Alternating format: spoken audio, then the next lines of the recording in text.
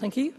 The next item of business is a debate on motion 11342 in the name of Hamza Youssef on the situation in the Middle East. I would invite those members who would wish to speak in the debate to please press the request to speak buttons and I call on Hamza Youssef, First Minister, to speak to and to move the motion up to 13 minutes, please. Presiding Officer, like so many others, I will never forget the morning of the 7th of October. Nadia and I woke to messages from my mother-in-law, Elizabeth, who was in Gaza, clearly in distress at the unfolding situation. On a call, my mother-in-law described to me the scenes that she was witnessing that very morning. Rockets being fired from Gaza towards Israel. And she was watching news reports that militants had entered southern Israel and were carrying out attacks, murder, and even hostage taking. The fear in her voice was palpable. There was no jubilation in the streets of their neighbourhood, simply fear of the inevitable retaliation that would be forthcoming. Presiding officer, all of us watching the scenes unfold on October the 7th did so in horror. This chamber is unified in its resolute condemnation of Hamas's abhorrent terrorist attacks. The vicious and calculated killing of innocent people and kidnapping of men, women, children, the elderly in Israel cannot be condoned. This chamber is, I hope, also unified in its resolute condemnation of the humanitarian catastrophe unfolding in Gaza. The killing of innocent men, women and children in Gaza who have nothing to do with Hamas also cannot be justified. These two positions are not at odds with one another. In fact, quite the opposite. They are a recognition that all human life is equal. The life of a Palestinian is worth no less than the life of an Israeli, and vice versa. Both Israelis and Palestinians have the right to live in peace and security. Presiding officer, we may be thousands of miles away from Israel and Gaza, but unfortunately, the brutal reality of this conflict has been brought all too close to home. It has been reported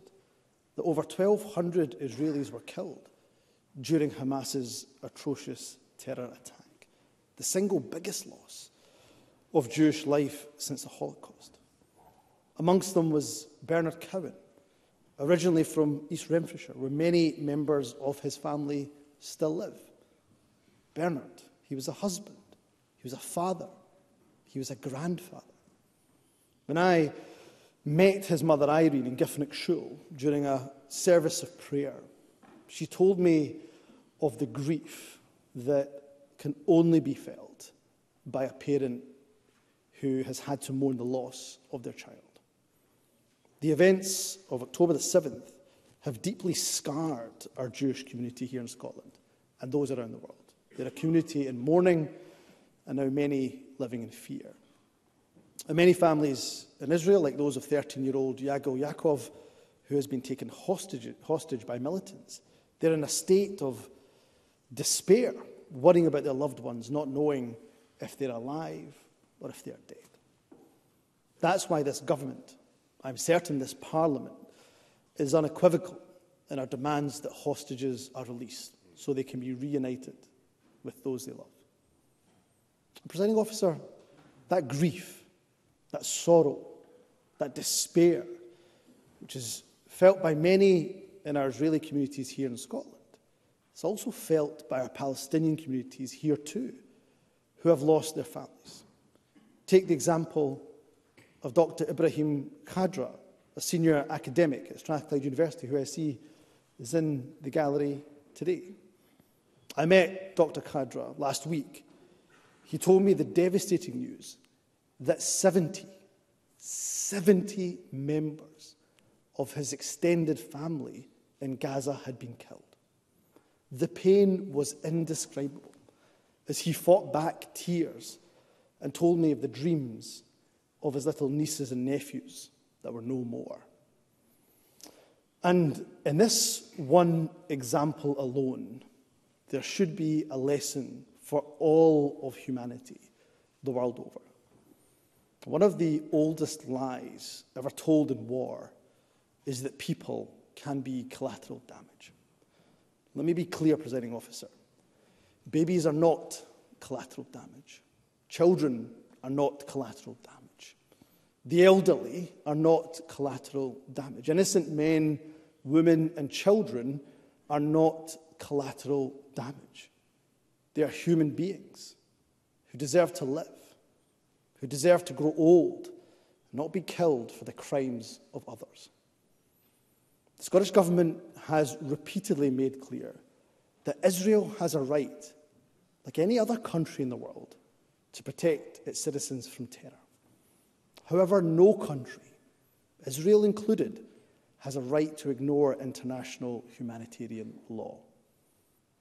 That is why this government has repeatedly called for an end to the 16 year blockade and siege of Gaza. This is why this government is unequivocal in its condemnation of the Israeli government cutting off, cutting off water, food, fuel, and supplies to the entire population of Gaza at the beginning of this latest cycle of violence.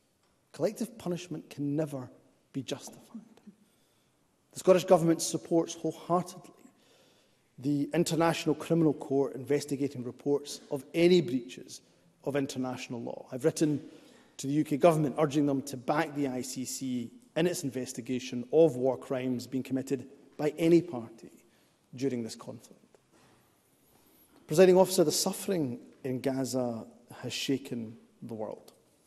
Over 13,000 Palestinians have reportedly been killed in Israel's offensive, two-thirds of whom are women and children.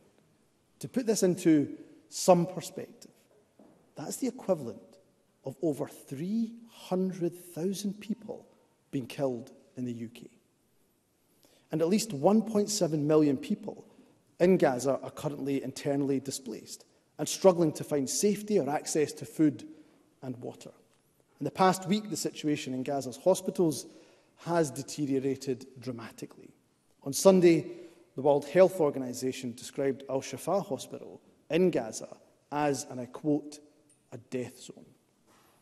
To save lives, doctors like my own brother in law Mohammed are forced to practice medieval medicine. Reportedly, amputating limbs, stitching up serious wounds, even performing caesarean sections without sufficient anesthetic. This is a cruelty that cannot be allowed to continue. Morally, there is no justification, none, for bombing of medical facilities and UN schools that are being used as shelters. Humanitarian organisations and medical facilities must be given special protections under international law, and they must be allowed to deliver life-saving services to those in need. Presiding officer, the people of Gaza do not just live in fear of missiles killing them. They are at grave risk from starvation, dehydration and infection. According to the UN World Food Programme, supplies of food and water are, to quote, practically non-existent. The entire population is being deprived of basic means of survival. And the ability of humanitarian agencies to provide these essentials safely has been severely curtailed by the lack of access to fuel and the loss of humanitarian workers and medical personnel. The Scottish Government's position has remained and does remain con consistent. In the face of such destruction, death and inhumanity, an immediate ceasefire agreed by all sides, is needed to ensure the protection of innocent civilians and the delivery of essential supplies, including food, fuel, water and medical provisions. Presiding officer, some people have suggested that we should be seeking to achieve a humanitarian pause. Simply a pause in the killing of innocent men, women and children, only what to resume a few hours later. Surely we must and can strive for better than that. For the sake of the people of Gaza who are living in a nightmare of unimaginable terror, and for the Israeli hostages who remain captive, this parliament and the international community must unite in calling for an immediate ceasefire. Presiding officer, let me be clear that when it comes to Gaza, Gaza belongs to the people of Palestine, to the Palestinian people whatever its future, it must remain under the control of the Palestinian people. No one has a right to expel Gazans from their land. Many Palestinians will wish to remain in Gaza. It is their land, after all. And it is right that the current focus is on calls for a ceasefire and providing humanitarian aid to them. But an estimated 50% of northern Gaza's buildings have been turned into rubble the dropping of more than 10,000 bombs, missiles and projectiles in one of the most densely populated areas in the world has caused complete devastation. Should there be a need to provide sanctuary to refugees, we have called upon the UK government to use existing resettlement schemes to work with the United Nations High Commissioner for Refugees to establish a route to safety for the most vulnerable Gazans. And as I have reiterated, Scotland is ready to play its part in any such scheme, but also in the medical evacuation of injured citizens from Gaza, and indeed Israeli citizens, if so required, through activation of the UK medical evacuation scheme. Just as hospitals in the UAE have helped to treat injured Gazans, Scottish hospitals are ready to treat injured civilians where we can. Presiding officer, this Parliament stands as one and exerts that the horrors in Israel and Palestine can never justify expressions of anti-Semitism, of Islamophobia, or racial or religious hatred of any kind in Scotland or elsewhere. A presiding officer, I have never uh, hidden the fact, in fact, very proud of the fact that I am Muslim. My faith is intertwined in history, in theology, with our Jewish friends, and we are of the Abrahamic tradition alongside Christians. In Scotland, the Muslim and Jewish communities have enjoyed decades of friendship, decades of uh, humanity, shared humanity and faith. Nowhere is that more evident than in East Renfrewshire, home of Scotland's largest Jewish community and a significant Muslim population too, who have lived side by side in harmony for many years. But we cannot be complacent. We must all be proactive in rooting out any hint of Islamophobia or anti-Semitism wherever it occurs. Presiding officer, even though it feels impossible to look past the current horrors of war, we must ensure that this perpetual cycle of violence that we see occur far too often finally ends once and for all in a peaceful resolution. To that end, there must be a renewed and serious international effort towards a two-state solution. Israeli and Palestinian states that can coexist in safety, security and with equal rights for each of its citizens. Unfortunately, The world has not kept its promise to the Palestinian people. They have not been given a free sovereign state along the 1967 borders as they were promised. Quite the opposite. The continued expansion of Israeli settlements in the occupied West Bank is not only illegal, but works against a peaceful resolution. So it's simply not enough anymore to pay lip service to a two-state solution. We must take steps to turn that into a reality. To that end, I have written to the Prime Minister and to Sir Keir Starmer and urged them to immediately take steps to ensure the UK recognises the state of Palestine. It's only with full recognition of Palestine as a state in its own right that we can truly move forward towards a two-state solution. To conclude, presiding officer, to prevent further deaths, the bombs, the rockets, they must stop. The Scottish Government continues to call for an immediate ceasefire, for the safe release of all hostages, for an end to the killing of innocent, innocent civilians in Gaza, for an end to the siege of Gaza, and for all parties to abide by international law. The UK government, the international community must use their influence to prevent the further loss of innocent life. Every child the world over deserves to grow old. The children of Gaza and Israel deserve nothing less. It is our moral obligation to act. Let us hope even in these, the darkest of times, that humanity prevails. I move the motion in my name.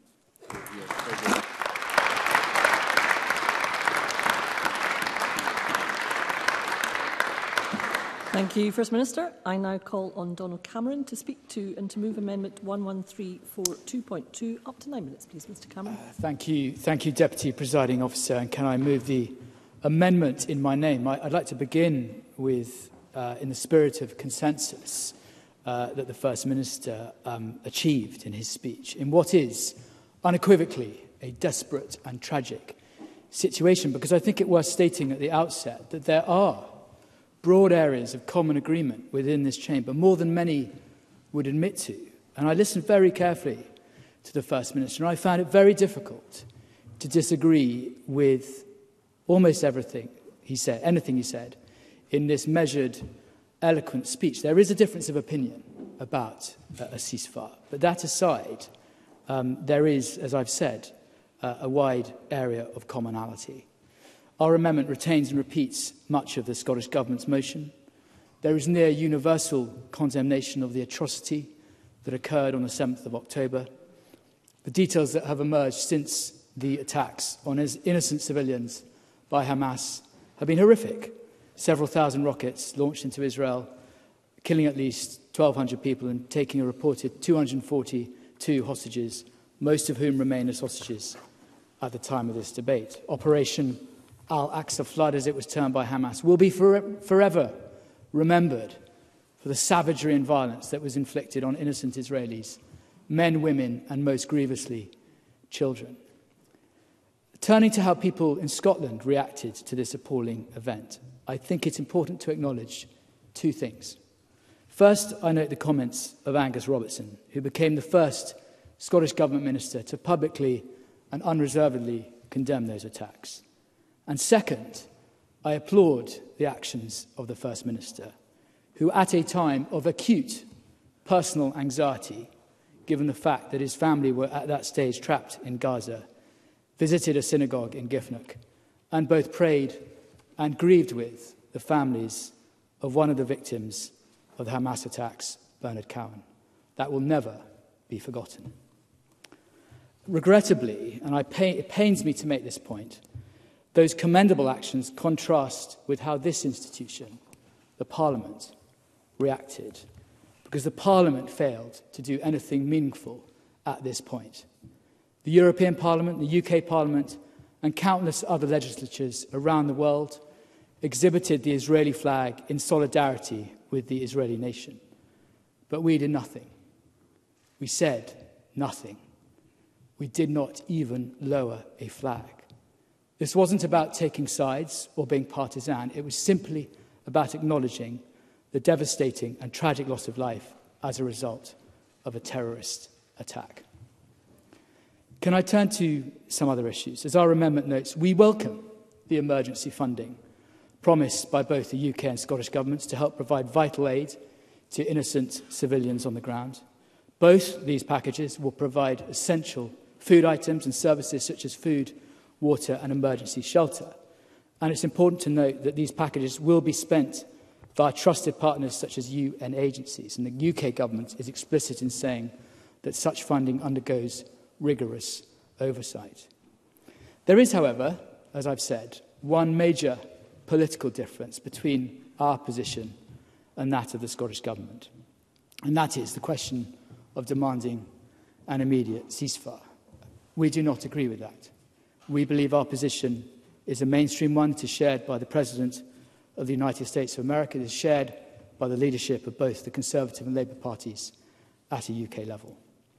Like any sovereign state, Israel has a right to defend itself against terrorists.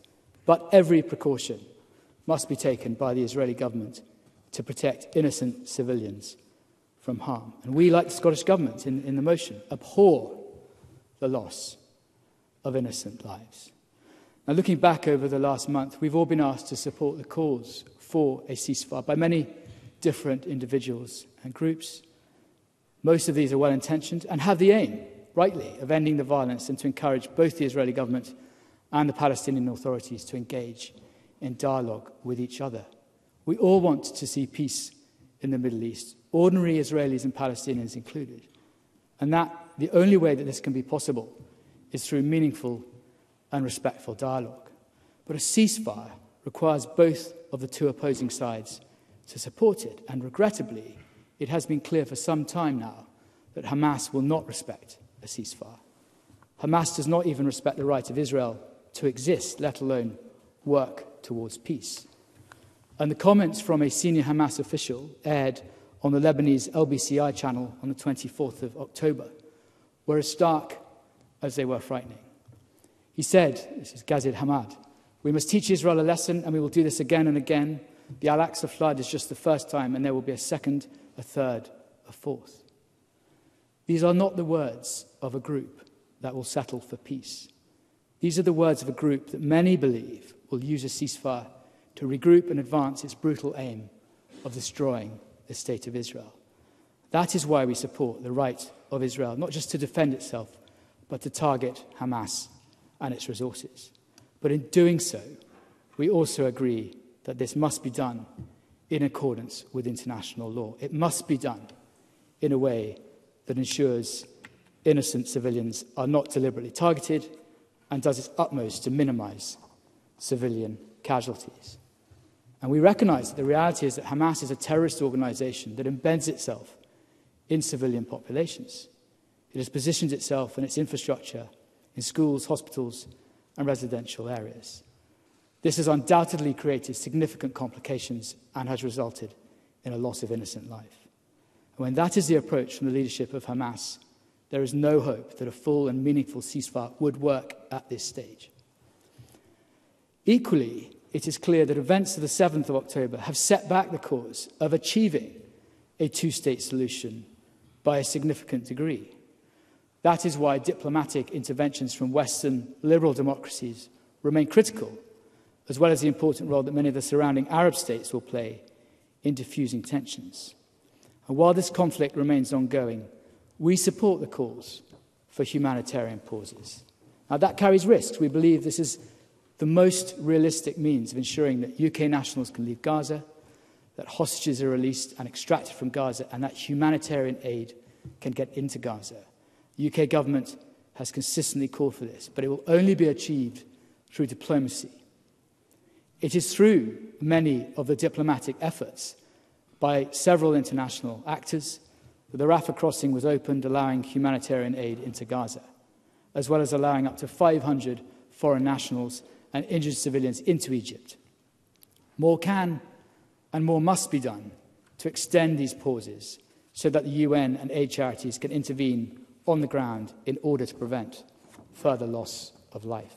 And we are currently awaiting the news as I speak on whether an agreed truce can take place in relation to hostages and the careful diplomatic efforts uh, are, that are ongoing. If that succeeds, then potentially that is a model to follow.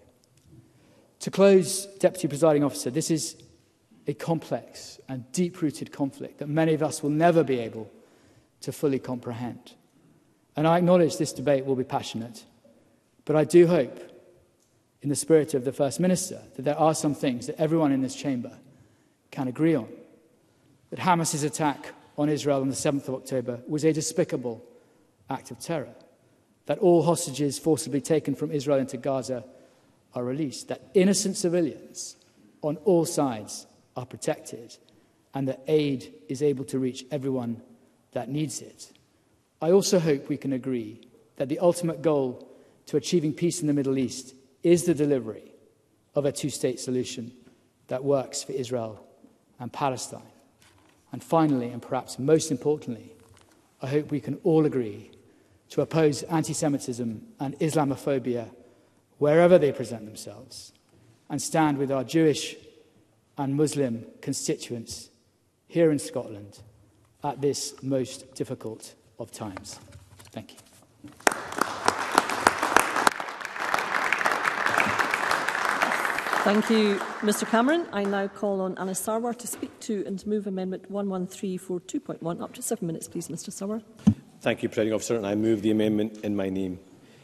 Eh, we have all been absolutely horrified by the tragic scenes we've been seeing on our television screens.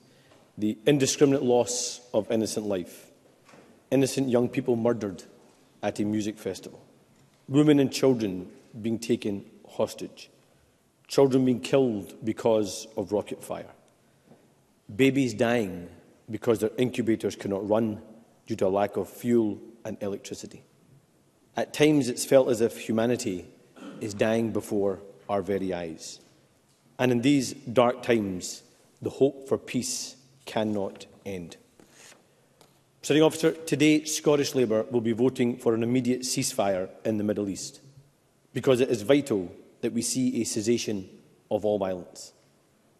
I believe four things need to happen immediately. The end of rocket fire into and out of Gaza. Let me be clear, that means a ceasefire right now. The immediate release of all hostages. Immediate access of humanitarian aid into Gaza, including food, water, electricity, fuel and medical supplies.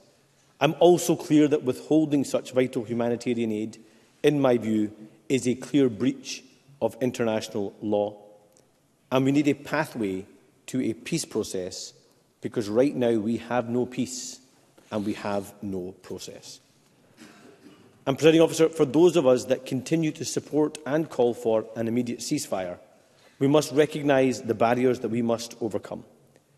For a ceasefire to work, all sides must be willing to comply. And secondly, we must recognise that Hamas has made clear that it intends to repeat the October 7th massacre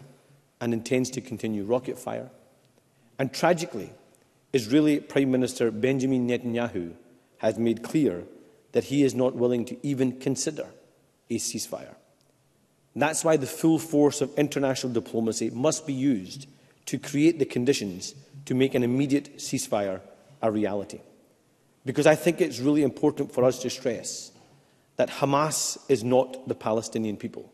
They are a terrorist organization. But it's also important to stress that the Israeli people are not the right-wing government of Benjamin Netanyahu either, a man, I believe, who has no interest in peace.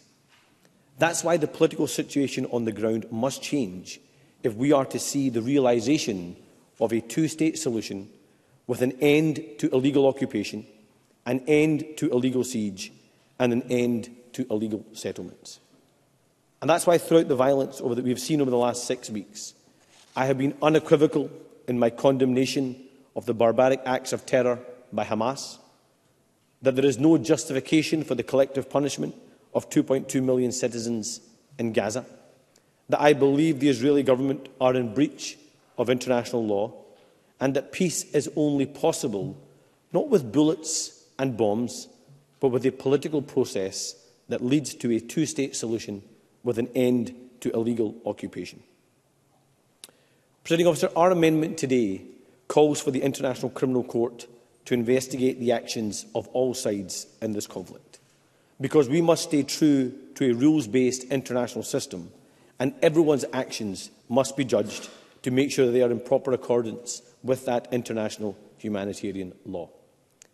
And in reference to the amendment in the name of Alex Cole Hamilton, we accept the substance of the argument that ultimately there is no military solution to this conflict and that peace will only come through a political process. So, officer, I want to give some reflections on the situation in Gaza.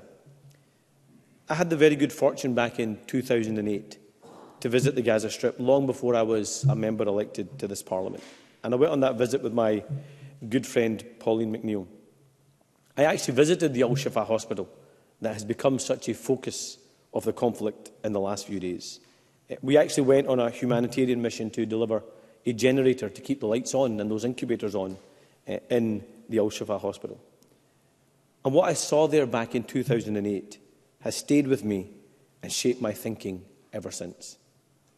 I stood around those incubators and saw the life saving work that was being done. But I also saw those incubators that were not able to work because essential maintenance supplies were not being allowed into Gaza by the Israeli authorities. I actually remember standing at those incubators, embracing Polly McNeil as we both sobbed at what we were seeing. I saw the kidney dialysis machines that are now switched off due to a lack of electricity and fuel, meaning life saving services they provide cannot happen. And to think that 15 years on, the situation in Gaza has got worse, not better. That is a collective failure, a 15-year failure of the international community and global leaders. And frankly, it shames the entire world. Now, when I was in Gaza in 2008, half the population were only able to eat due to UN food programs. That's worse now.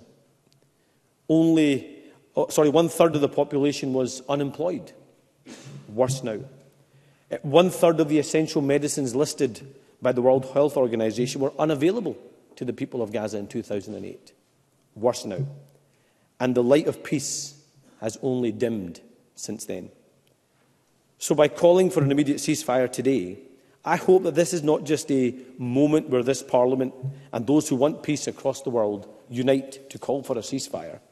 I hope this is a game changer in this decades-long conflict so that we can finally give the people of Palestine and the people of Israel the peace and the justice that they so desperately need and so desperately demand.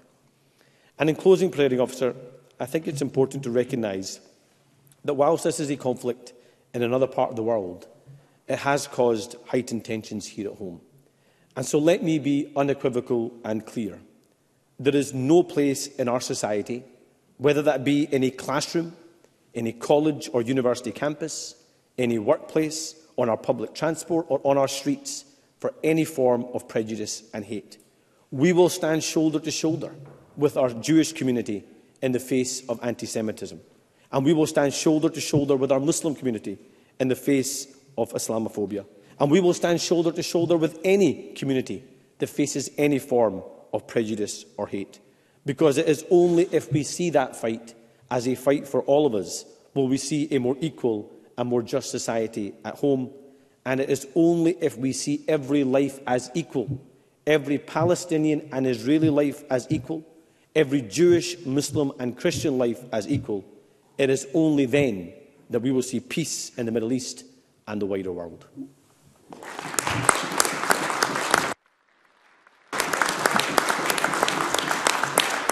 Thank you, Mr Sawar. I now call on Alex Cole-Hamilton to speak to and move Amendment 11342.3. Mr Cole-Hamilton. I'm very grateful, uh, Presiding Officer, for the opportunity to speak for the Liberal Democrats in this important debate. And can I start by thanking the front benches for the consensual tone they have sought to strike on this very important day, and in particular offer uh, the congratulations and relief and thanks of the Liberal Democrats for the safe return and reunification with the First Minister and his family. Presiding officer, having listened to the opening speeches of both the First Minister and Anasara, I believe that in actuality their remarks speak to the points I'm about to make, and they have captured the spirit of the Liberal Democrat amendment in every way. I think where consensus can be found in this place, we should protect it fiercely. And whenever we can, allow this, speak, uh, this Parliament to speak a voice that is simple, clear, and unified as it, it can possibly be. And for that reason, presiding officer, I am disinclined to move my amendment today. We all want to get to the same point. Uh, we may have different routes or terminology, nuance or emphasis, but I fundamentally believe that we all want the violence to stop and for a peaceful coexistence between the peoples who live side by side in that beleaguered corner of our world. This is about them. It's not about us. And some will question our locus on this matter, but it is important work we do here today. It has now been 45 days since the atrocities committed by Hamas on the 7th of October. I want to be crystal clear from the outset.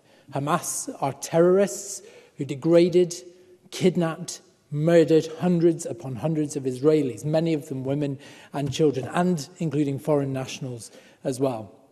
I will never forget the uncensored images I was shown at a parliamentary briefing hosted by the Israeli embassy in London following those attacks. Scenes of murder and mutilation, they are now burned into my brain.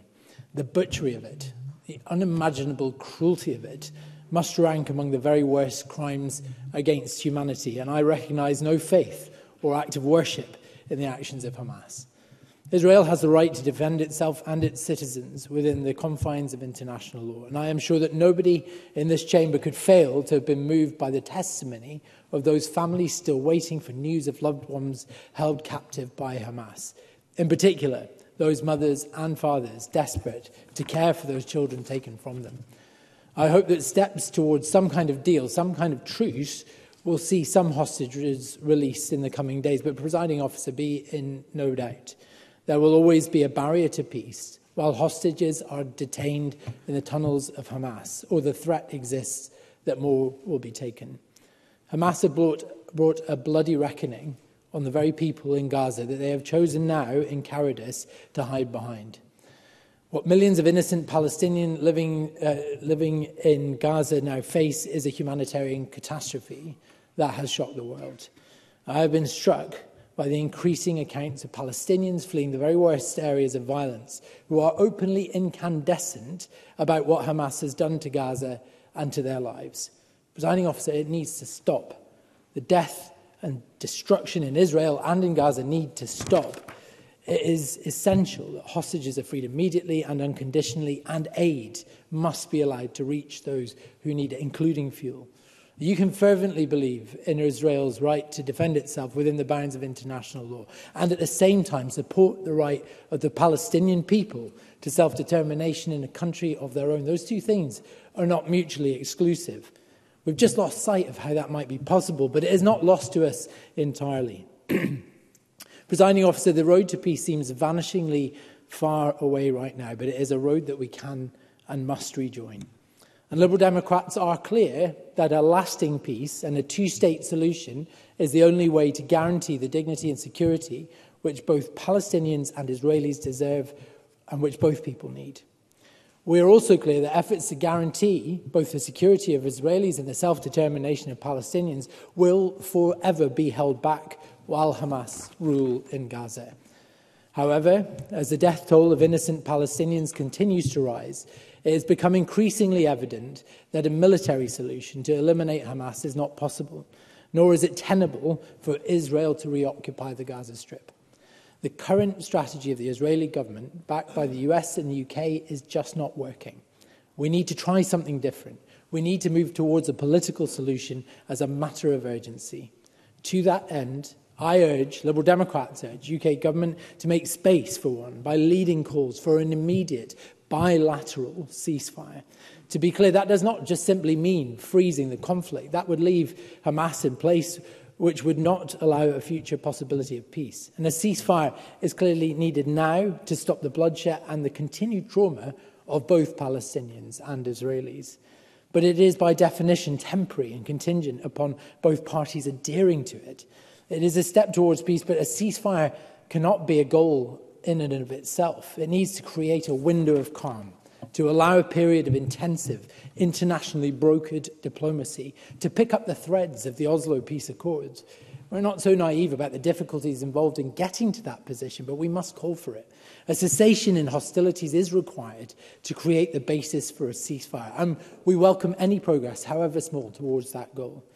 This has to be bilateral. Asking just Israel to put down its weapons will not give them the assurance against the repetition of the October 7th attacks, which, as the Labour Amendments notes, Hamas have actively said they are keen to perpetrate again.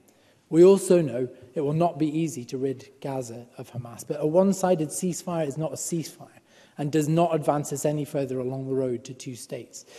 Presiding officer, in concluding, let me reaffirm my party support for the innocent people at the very heart of this, who have been caught up on both sides of this conflict, Israeli and Palestinian. Both people have the right to live free from fear. And as we vote this afternoon, let us stand on the side of humanity and peace, not on the side of division and hate.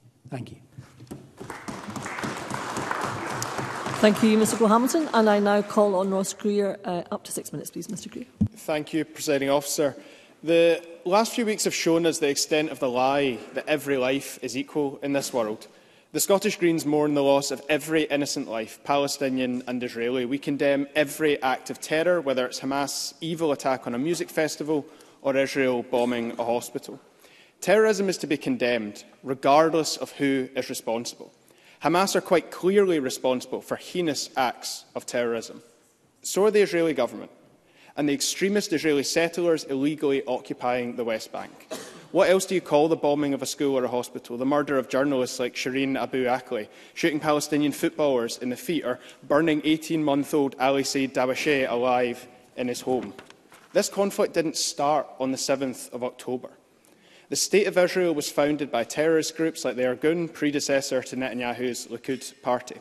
Its founding is known to Palestinians as the Nakba, disaster. 700,000 Palestinian Arabs were ethnically cleansed from their homeland, 500 Palestinian villages were destroyed, and infamous massacres like that at Deir Sin took place. For Palestinians, the Nakba wasn't an event in 1948. It has continued for 75 years. The idea that the current Israeli assault on Gaza is targeted purely at Hamas is a lie. Avi Diker, former head of Shin Bet, now a Likud minister in the government, said the following on live TV this week. We are now rolling out the Gaza Nakba. Israel's President Isaac Herzog claimed there are no innocent civilians in Gaza, despite the armed wing of Hamas totaling at most 50,000 men and a civilian population of 2.4 million. Amihai Eliyahu, a minister from the fascist Jewish Power Party, suggested dropping a nuclear bomb on Gaza. His party leader and National Security Minister, Itamar Ben-Gvir, lives in an illegal Israeli settlement on stolen Palestinian land in the West Bank has previously been convicted for membership of a terrorist organisation and for years hung a portrait in his living room of a terrorist who massacred 29 Palestinian Muslim worshippers. There are countless other examples, and I raise them to point out that the terrorists aren't all on one side. As a proud defender of the Palestinian struggle for freedom, I don't hesitate to condemn the vile terrorism, the evil of Hamas. So why do so many of Israel's defenders find it impossible to condemn the state terrorism of this government and those which have preceded it since 1949. Israel is guilty of the crime of apartheid. That is the verdict of Human Rights Watch, Amnesty International and Israel's own human rights group breaking the silence. The hypocrisy of Western leaders here has been staggering the UK, the US, the EU and others were unequivocal in condemning Russian war crimes, including the targeting of civilian infrastructure and cutting off power and water to civilians. But in the face of Israel's equally outrageous, equally blatant war crimes, we get silence, equivocation or worse. Keir Starmer defended the criminal act of cutting off water and power to Gaza. Rishi Sunak told Netanyahu, we want you to win. We know what the Israeli government thinks victory looks like. They're telling us it's the slaughter of tens of thousands of innocent civilians and the ethnic cleansing of Gaza. That victory would be a monumental defeat for the system of international law which the UK was instrumental in establishing after the horrors of the Second World War. The killing must stop. Not pause, stop. What is the purpose of short pauses? To give Gazans a break to drink water they don't have, to eat some food they don't have? Bodies are piling up in the streets. Morgues are full and it isn't even safe to bury the dead. There are reports of hundreds of families wiped out entirely, no survivors left to carry out their name. Palestine's uh, Gaza's small Christian community, whose presence in their land goes back to the time of Christ himself, faces total destruction. One common response I've had recently from Israel's defenders is to bring up the horrible treatment of LGBTQ people by Hamas, as if that obliges me to support the Israeli occupation instead. Often those responses have gone beyond Hamas into offensive generalisations about the attitude of all Palestinians towards queer people, a position which erases queer Palestinians themselves. Not only are many Gazans writing their names on their arm to make their bodies easier to identify after they've been killed by Israeli airstrikes, they're posting what could be their final messages online, to be remembered as more than statistics. And LGBTQ Gazans are using the Queering the Map project to do so. I want to share some of those messages now. One, I've always imagined you and me sitting out in the sun, hand in hand, free at last. We spoke of all the places we would go if we could, yet you're gone now. If I'd known that the bombs raining down on us would take you from me, I would gladly have told the world how I adored you more than anything. I'm sorry, I was a coward. Two, I don't know how long I'll live. I just want this to be my memory here before I die. I'm not going to leave my home, come what may. My biggest regret is not kissing this one guy. He died two days back. We told how much we liked each other, and I was too shy to kiss last time. He died in the bombing. I think a big part of me died too, and soon I will be dead. To Eunice, I will kiss you in heaven. Three. Please know, despite what the media says, there are gay Palestinians. We are here, we are queer, free Palestine. Presiding officer, there is no liberation for LGBTQ Palestinians when Israeli soldiers are literally raising the rainbow flag over the rubble that they are buried beneath. Genocide cannot be pinkwashed. To briefly touch on the amendments before I close, the Greens welcome Labour's. We've also called repeatedly for all sides to be held to account by the ICC. If the Liberal amendment were to be pushed, we would have to abstain on it, because whilst it contains that important line about there being no military solution, and while we share their contempt for Hamas, I think there is a contradiction in calling for a bilateral ceasefire and the total removal of one side. It gives Hamas no incentive to agree to that ceasefire. The conditions for peace are obvious the unconditional release of all hostages held by Hamas, the release of political prisoners, including children held by Israel, an end to the 16-year-long Israeli siege of Gaza, Israel withdrawing its illegal settlements and apartheid walls from the occupied West Bank, fresh elections across Palestine, and the right to self-determination for Palestinians and Israelis. A two-state solution may be the most likely outcome of that, but it is for them to decide, and we acknowledge the calls from some Israeli peace activists in particular for one secular state. Presiding officer, no one is free until everyone is free. Palestinian lives must be the equal to that of Israelis or Scots. Scotland has a proud history of standing in solidarity with our Palestinian friends. Today we will do so again and call for an end to the killing. Today one message will come from this Parliament. Ceasefire now. Thank you, Mr Greer. And we now move on to the uh, open uh, debate and uh, backbench speeches of up to six minutes. And I call COCAB Stewart to be followed by Megan Gallagher. Ms Stewart. Thank you, Presiding Officer. Uh, six weeks ago, we watched in horror as Hamas terrorists undertook a brutal and unforgiving attack on peaceful and innocent civilians in Israel. We cannot and should not ever shy away From such a fact, there is no justification for the barbaric butchering of peaceful citizens. And according to Israeli officials, Hamas was responsible for the death of around 1,400 people on the 7th of October, taking around 240 hostages. Presiding officer, it would seem unthinkable if such horrifying events were to occur in our own communities. We would rightly look to our governments to do what they can to protect us. Protection is the primary responsibility of those in charge, and therefore it is undeniable that Israel has that right to defend itself to protect its citizens. That is not being challenged, and that's not what we're debating today. However, the military response from Israel has now killed more than 13,000 people in Gaza. That is not 13,000 Hamas militants. It is not 13,000 terrorists. It's 13,000 people in Gaza, indiscriminate of who they are. More than a third, an estimated 5,500, are children. Let's just pause on that. The military response to the attack, which brutally murdered 1,400 innocent people in Israel, has now, six weeks later, led to the death of 5,500 children in Gaza. That is roughly the number of children born in Glasgow in an entire year.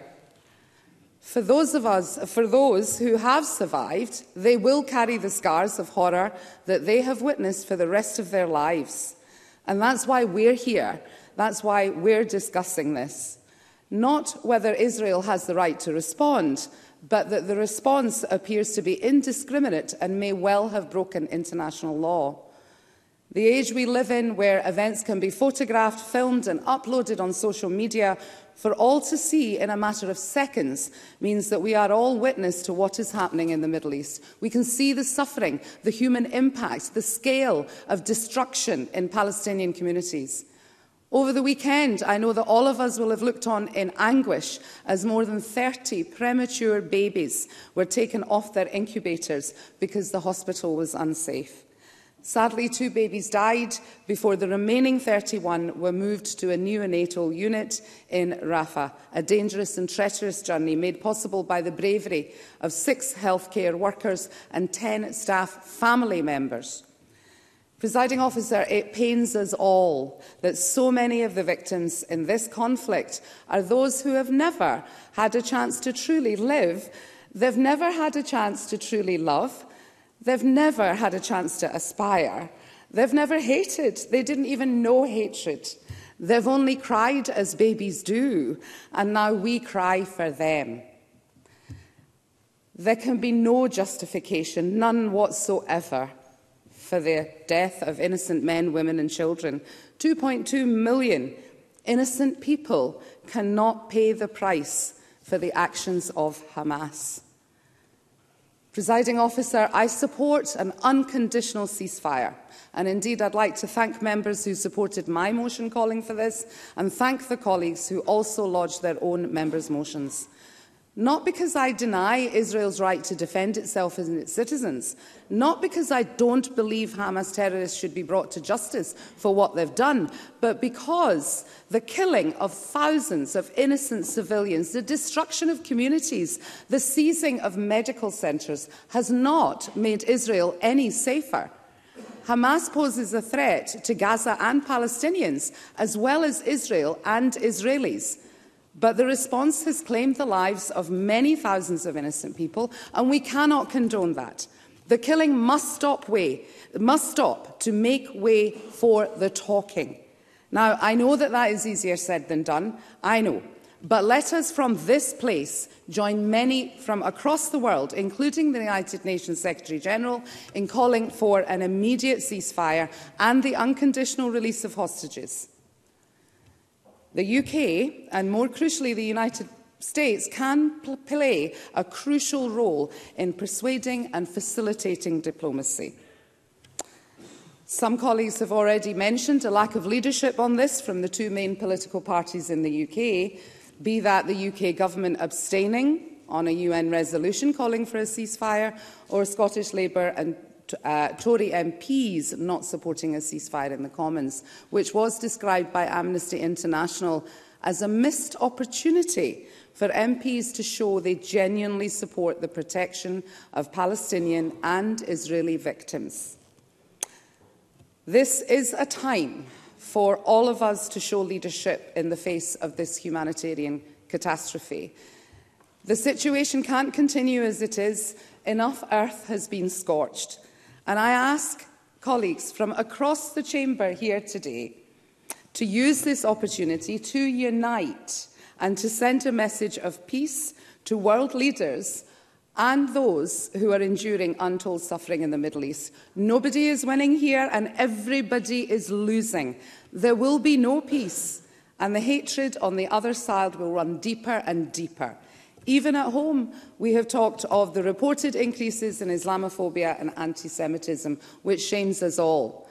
But if those of us who have influence exercise it responsibly, enough people on both sides may agree to set down their arms, engage in talks, while bringing justice to those who have committed atrocities and broken international law.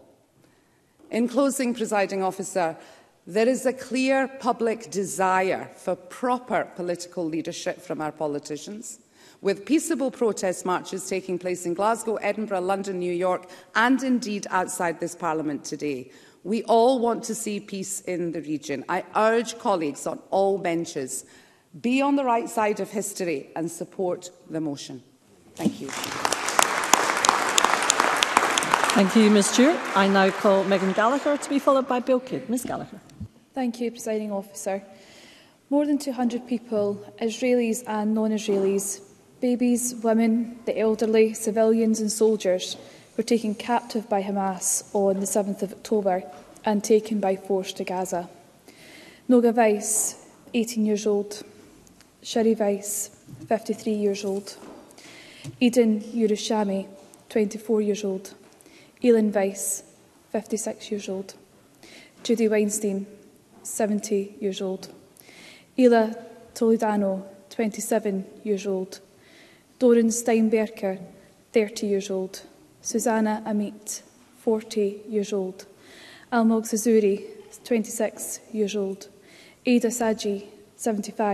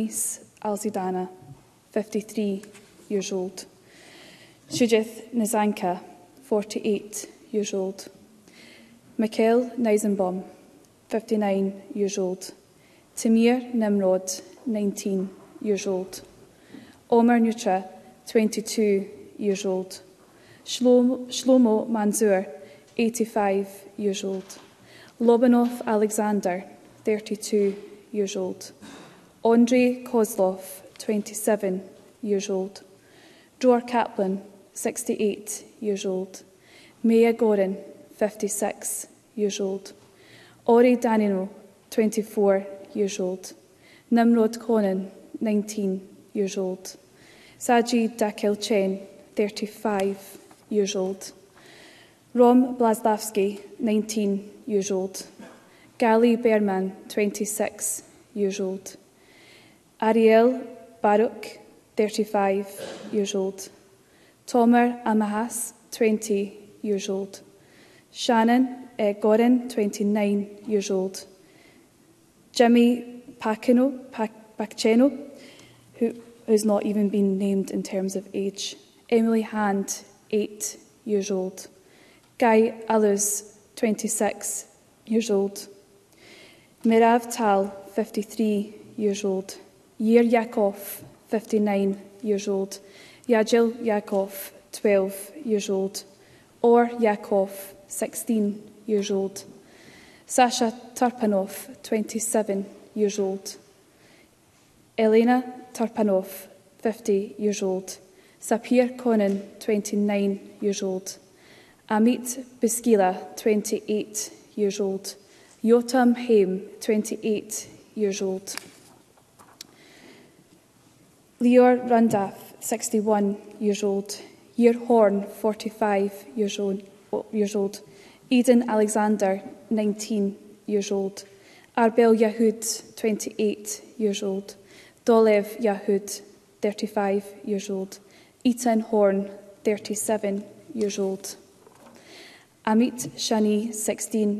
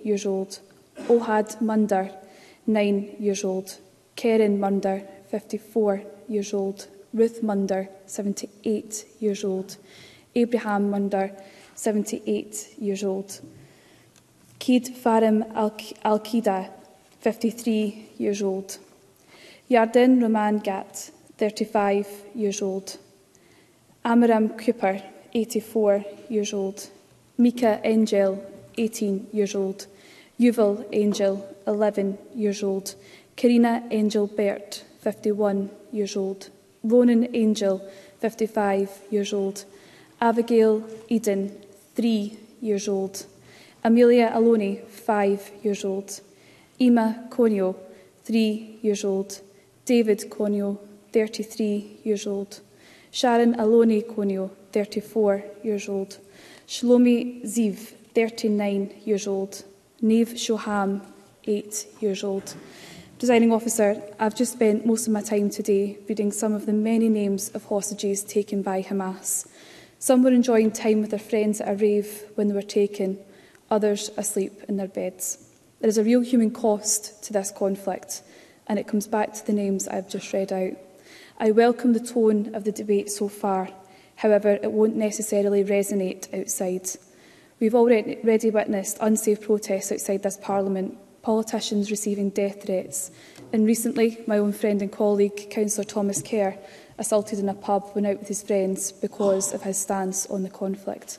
I agree with previous speakers, we must stand shoulder to shoulder against Islamophobia and anti-Semitism because communities in Scotland are frightened and we need calm, gentle diplomacy not just for the safe return of the hostages, but for the humanitarian breaks to allow for vital supplies to get to those who need it most. Presiding officer, I'll finish by reading out just one name again. Abigail Eden, just three years old. Abigail was kidnapped from her home. Both her parents were killed. Abigail has her whole life ahead of her, one without the love and support from her parents who were cruelly taken before their time.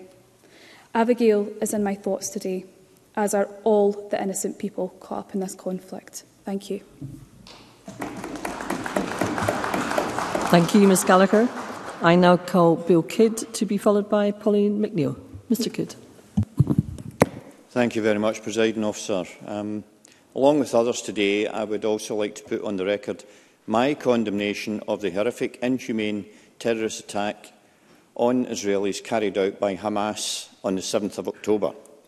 The horrors of that day are unimaginable, and the continuing nightmare faced by those being held hostage and their loved ones must come to an end, and I reiterate calls for the immediate and unconditional release of all hostages.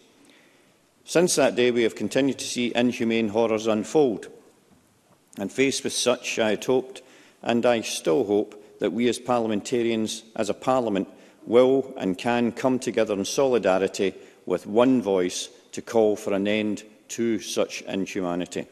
And whilst I believe that the majority of us here today are broadly in full agreement, it is regrettable that we still find ourselves having to call for the killing of innocent civilians in Gaza, including women and children who have been besieged by Israeli forces.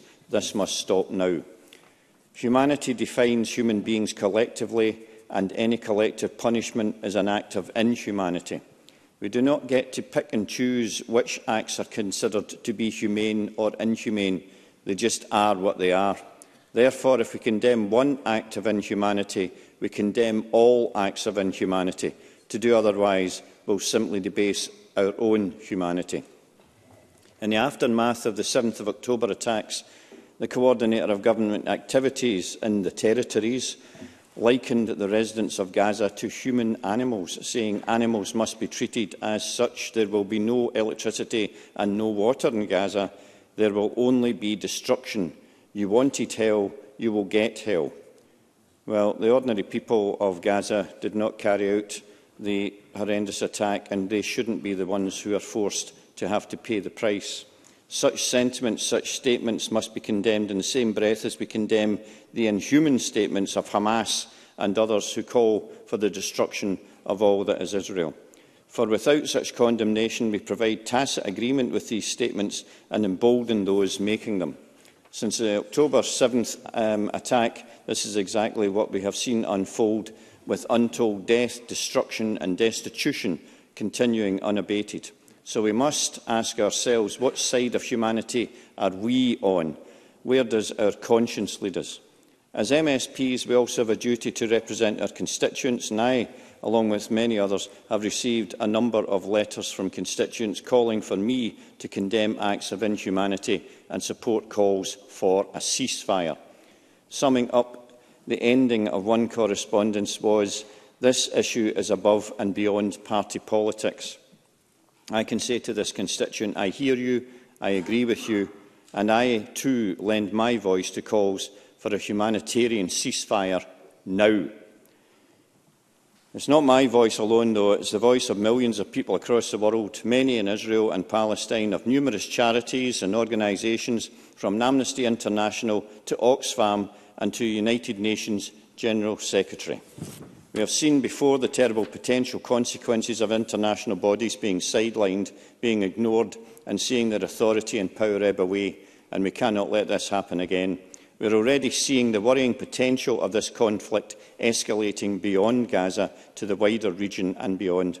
And we must not let this happen. We must support calls for the immediate resumption of talks to facilitate a solution to this 75-year-old Israel-Palestine question, namely a two-state solution in line with UN resolutions. But to achieve these, we must reiterate and enforce previous UN resolutions on the issue, for if we allow some to be ignored, how can we expect others to be respected? To this end, I believe that we need to see a United Nations force of blue helmets being deployed to Gaza and being there until a two-state solution is achieved. This may be a hard task, but it's the only way forward, because we're not going to stand here year after year and continue with this debate. The issue we're debating today is not new. Palestinians have been marginalised and displaced in the West Bank and beyond. This must stop if we are to reach a place of mutual respect and mutual security, a place where we can build a better future rather than live on in an untenable past built on prejudice and ignorance. Many may see the solution as hopeless, intractable and without solution. But to give up hope is to give up on humanity. And I, for one, choose hope. I, for one, choose humanity.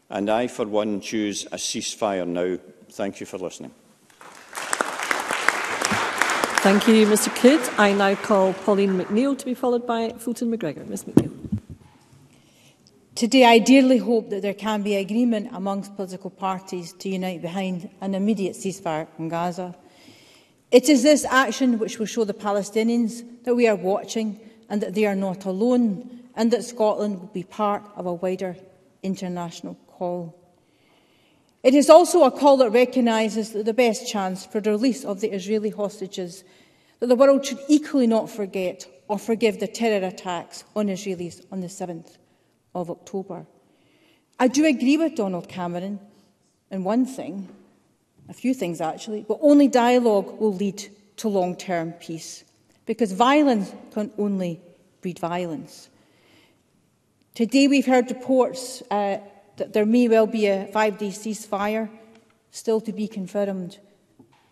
But I hope this opportunity, if it arises, will be grasped. Because we have witnessed nothing like this human catastrophe in our lives. I certainly have not. The daily, unrelenting, indiscriminate, enormous firepower, carpet bombing of hospitals, schools and people's homes, and not least the loss of life, including 5,000 children.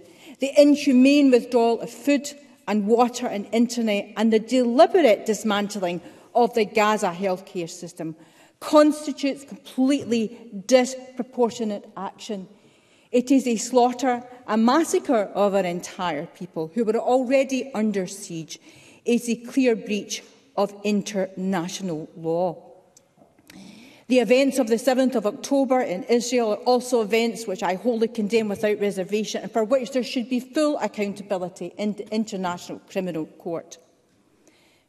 But absolutely nothing can justify this response by Israel. The deliberate targeting of civilians of aid workers, of journalists, children still trapped, hurt under the rubble, babies denied needlessly the care they need in hospitals. But what if it was your child and you couldn't get an ambulance and you couldn't get the treatment for your child, so you have to watch your child die, but you can't even flee from this violence because you're trapped in the biggest prison in the world along with 2.3 million other people going through exactly the same as you. But meanwhile, world leaders and the EU procrastinate as to whether they're actually going to call for a ceasefire. Today, of the many stories, the many, many stories I've, re I've read about, a surgeon reported that he was left with no choice but to perform an amputation on his own child, and the child died there. Children with no surviving parents is one of the biggest phenomenons we're seeing right now. And I'm clear in my own mind that what we are witnessing is an attempt to wipe out an entire population. Isaac Herzog, uh, uh, Prime Minister of um, Israel, said it's an entire nation that is responsible for the Hamas attacks. Yoav Gallant, Israeli Defence Minister, said, we are fighting human animals and we act accordingly. And Minister Amici El Yuhai said, this is one of the possibilities to drop a nuclear bomb on Gaza and that anyone waving a Palestinian or Hamas flag shouldn't continue to live on the face of the earth, a Palestinian flag. But UN Special Reporter has warned that the Palestinians are in grave danger of mass ethnic cleansing and that what we are witnessing may well be a repeat of the 1948 Nakba. The powerful speech by Nada Tarbush, the Palestinian observer to the UN for the State of Palestine, said, quoting Israel's finance minister, who said there was no such thing as Palestinian people, In fact, the current Prime Minister Netanyahu at the same meeting held up a map of the Middle East with Palestine deleted from the map. The United Nations uh, eh, meeting, she summarises Israel's position as being that all Palestinians in Gaza are either terrorists or terrorist sympathisers or human shields. Israel's current and past leaders, with some notable exceptions, have singularly failed to establish a path to peace with the Palestinians over 75 years. As we speak during this period, over 200 Palestinians have been killed in the occupied West Bank, and settlers who are illegal in the West Bank are being armed with rifles and they're free to kill. So I'm sure everyone has uh, noticed that this has been happening literally in the last four weeks. I have worked with brave former IDF soldiers through breaking the silence an organisation which speaks out. Ariel Bernstein and Benzie Sanders served at the ground incursion to Gaza in 2014. And after they fought in that war, they reflected on what they learned. They said, our leaders lied to us that the conflict could be managed and that there was no need to strive for dialogue with any part of Palestinian society, not even the moderates. I know this to be true because I was an observer in 2006 and I met Isaac Herzog and I went to meet him in the Knesset. And eventually he did say that it's true to say that Mahmoud Abbas and the Fatah moderates were humiliated by the Israeli government. And the PLO were dismissed over that period. Over 30 years, they have been trying to reach peace for a two-state solution. I've had the privilege of discussing Palestine with world leaders in Qatar, in Egypt, in Syria, in Jordan, Tunisia too, and they too, I have to say, uh, too much rhetoric and not enough action.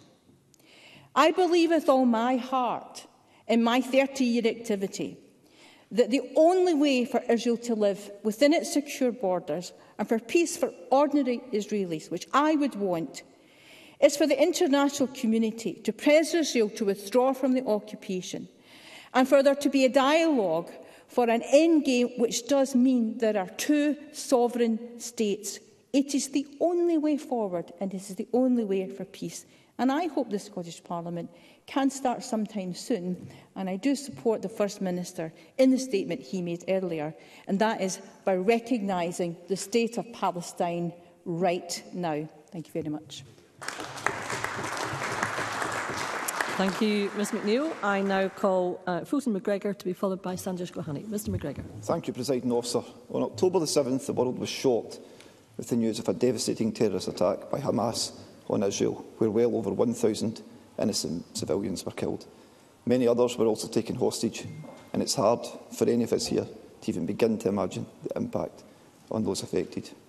These abhorrent attacks have been rightfully condemned across this chamber and across Scottish society as a whole, This motion today allows us to again reiterate this condemnation in the strongest possible terms.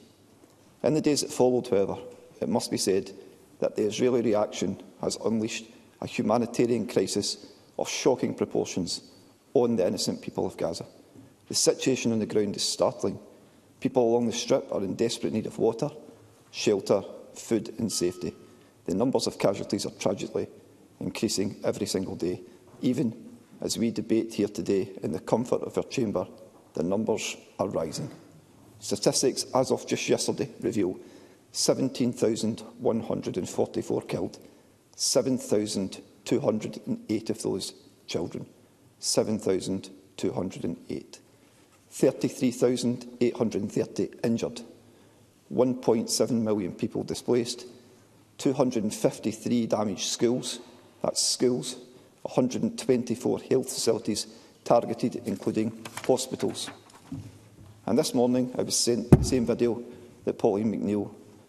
referred to, a video of a surgeon in Gaza outside a tent who, as it reported, had to carry out an amputation on his own child without, without anaesthetic, and his child subsequently died of the pain. Horrendous. Presiding officer, what more needs to happen? This is just appalling. How can we sit back and let this continue. The whole world should be ashamed. The innocent children and people of Gaza are paying the price for Hamas, and this cannot continue. The WHO has called Israel's forced evacuate, evacuation of northern Gaza as a death sentence for the sick and injured in the area. The UN go further in the language, and on their website they have an article entitled Palestine Preventing a Genocide in Gaza and the New Nakba.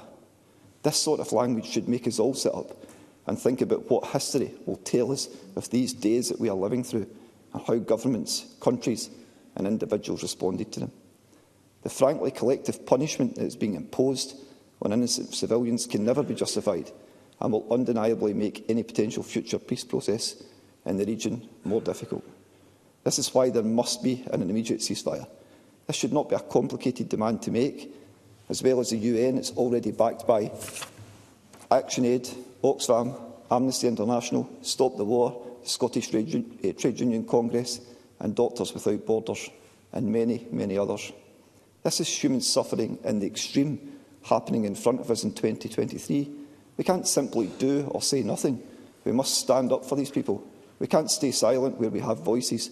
And I truly believe there should be no politician anywhere that isn't willing to call for and vote for a ceasefire. A ceasefire is the only way for the immediate safety of all across the region and to allow for the hostages to be released and the much-needed humanitarian aid to reach civilians who have been so drastically affected by this conflict. So I therefore urge the Government of Israel to end the total siege of Gaza and to ensure unbound human humanitarian access, including the delivery of sufficient amounts of medical supplies, food, fuel and water. And I urge Hamas to begin the immediate unconditional release of all hostages held captive, the delivery of aid and the release of hostages can only be achieved with the complete cessation of facilities.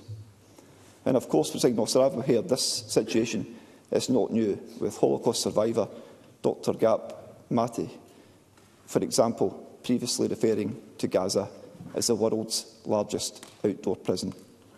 The international community must now come together and find a two-state solution and to bring lasting peace to the region. Presiding officer, closer to home, it's great that the Scottish Government have pledged £750,000 to assist the relief efforts in Gaza via the United Nations Relief and Work Agency slash appeal, and I wholeheartedly welcome this. And also to any of my constituents across Coatbridge and Crescent, who are also members of the Israeli and Palestinian communities, know that I affirm the right of all Israelis and Palestinians to live in peace and security, and always will. There is no place for anti-Semitism, Islamophobia or any kind of hatred here in Scotland.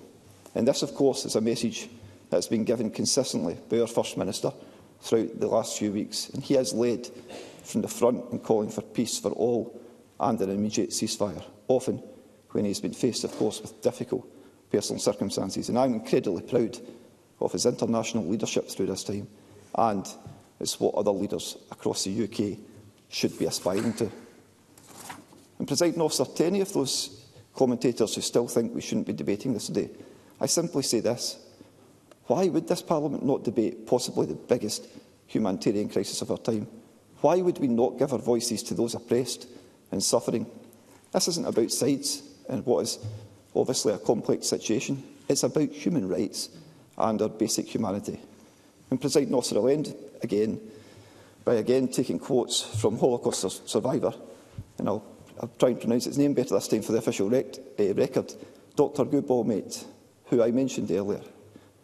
and from what is a widely shared video on the situation in the Middle East that many here have probably already viewed.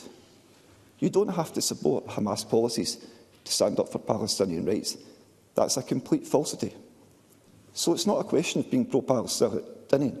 It's a question of, are you in favour of justice and devotee and freedom and truth or are you not? End quotes.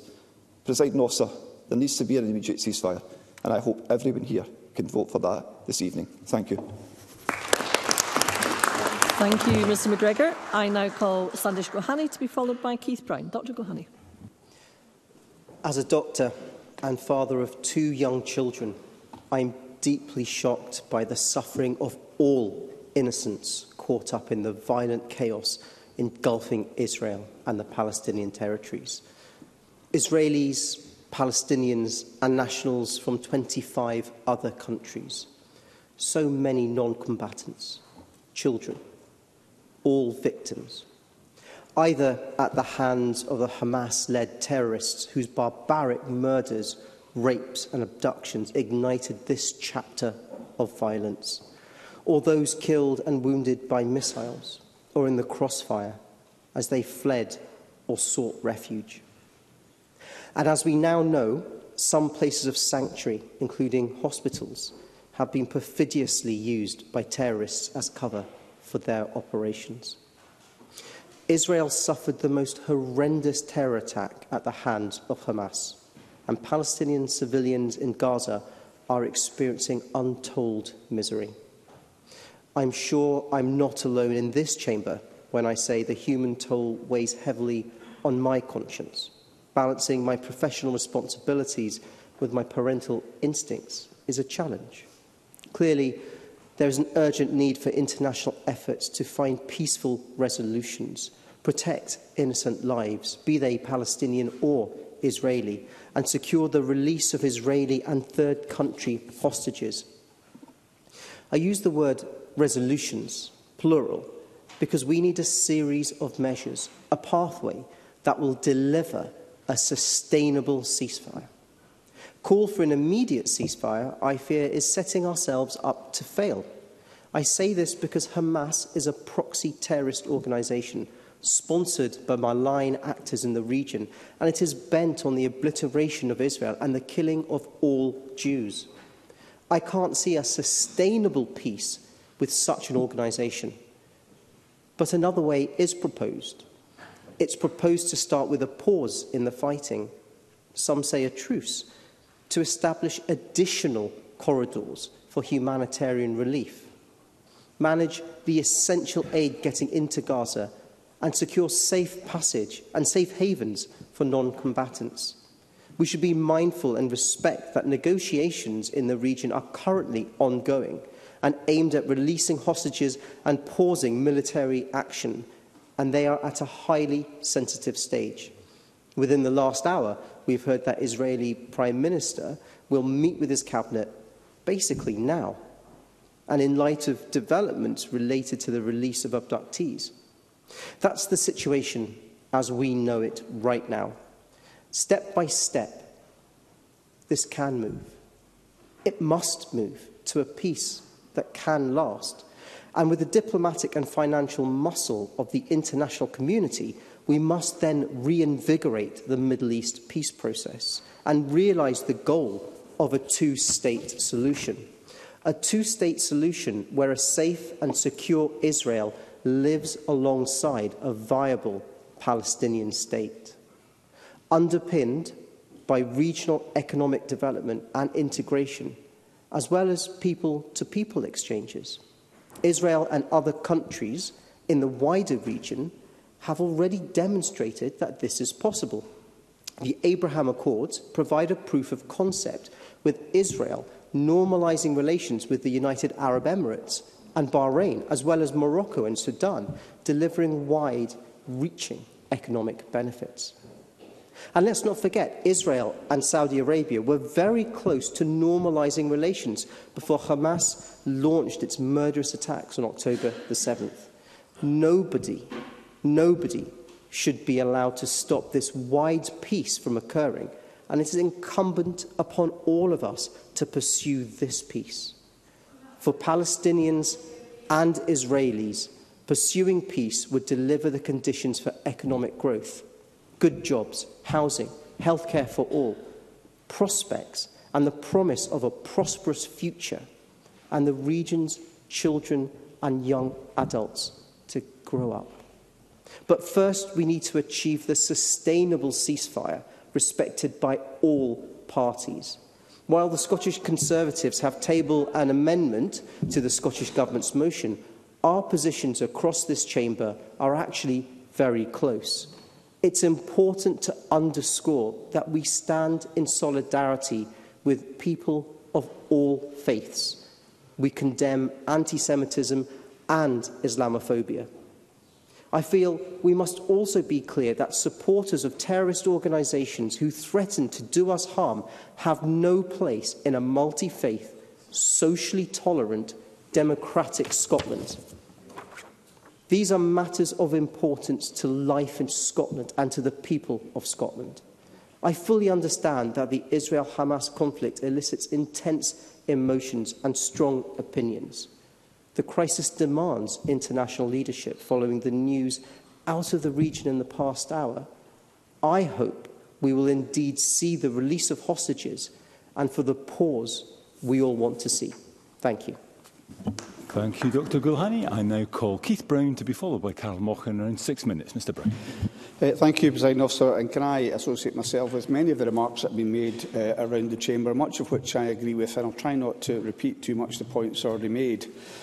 But in particular, I of course agree with the terms of the First Minister's motion. I also agree with the amendment proposed by the Labour Party. I think in particular Polly McNeill spoke very forcefully uh, and I would pay testament to her long experience in these matters, as I would to her former colleague in the gallery, uh, Sandra White, as well. Um, one thing I think does have to be repeated uh, is that these attacks, the attacks carried out on the 7th of October, were beyond words and they should be condemned. I am confident all MSPs across the Chamber will join together to condemn these horrific attacks. There is nothing that could justify the brutality that we paid witness to on that day. I would also want to say, though, that I think it's entirely right this chamber is discussing this, and it's come under attack, as have the demonstrations and the various activities around the country, as we are not going to make any difference anyway. And I think that's a council of despair. I think the demonstrations which have been held, people writing letters, making their voices known is extremely important. And I don't believe diplomats and those around the world that have the ability to change this are immune to hearing from populations about how abhorrent we believe what is currently happening actually is. So I think it's entirely right this chamber should discuss, should debate and should decide on, on this motion. I think it's currently believed that over between 11,000 and I think, as uh, Cochab Stewart said, 13,000 Gazans have since been uh, killed since the 7th of October. And according to the Palestine, Palestinian Ministry of Health, uh, and appreciate that um, sources are, are very difficult to verify, uh, but these statistics have been independently verified by the UN which has also cast, um, not cast any significant doubt on either of those figures uh, at this current time. And we can also look to specific attacks ex as examples of what's been referred to by some members as the disproportionate nature of the response, like the successive attacks on the Jabalia refugee camp in the north of the Gaza Strip. There have been a wide range of reports on the exact number of casualties from the attacks on that camp, but we do know for certain that it's in the hundreds of Palestinian refugees that have been injured and dozens killed, possibly far more than that, in attacks, attacks on that camp over the past few weeks which is being justified, I am told, by saying they were targeting one particular Hamas commander. You cannot justify the murder of dozens, maybe hundreds of people to attack one person. It's, as the First Minister said, collateral damage is not an, an acceptable way of dealing with these things and as international law upholds. Can I say the vital distinction between those of us, I think, that agree uh, largely on one side of the chamber and the Conservative position, and I agreed with all the areas of concern that Donald Cameron listed towards the end of his speech. But the main point of disagreement is on an immediate ceasefire. I think I heard Sandish Gulhani say that they couldn't call for a ceasefire, but he thinks there should be a ceasefire that everyone should adhere to. And the reason now given for not calling for a ceasefire – as I understand it, is because Hamas said they wouldn't observe it. Why should we be intimidated by terrorists in not calling for a ceasefire? And if Edward Mountain was here, I'm sure he'd agree that it's quite often the case when two military forces oppose each other, it can be in one's interest to have a ceasefire. If I can just finish making this point, first of all, I'll come to uh, Jackson Carlo. If one side, um, uh, if both sides agree a ceasefire, it can often be the case that one side gains an advantage for that. and I understand that point. But in this case, we're talking about civilians, innocent people that are caught between the two military forces. That's why there should be an immediate ceasefire. ceasefire. I'll give way to Jackson Carla. Jackson Carla.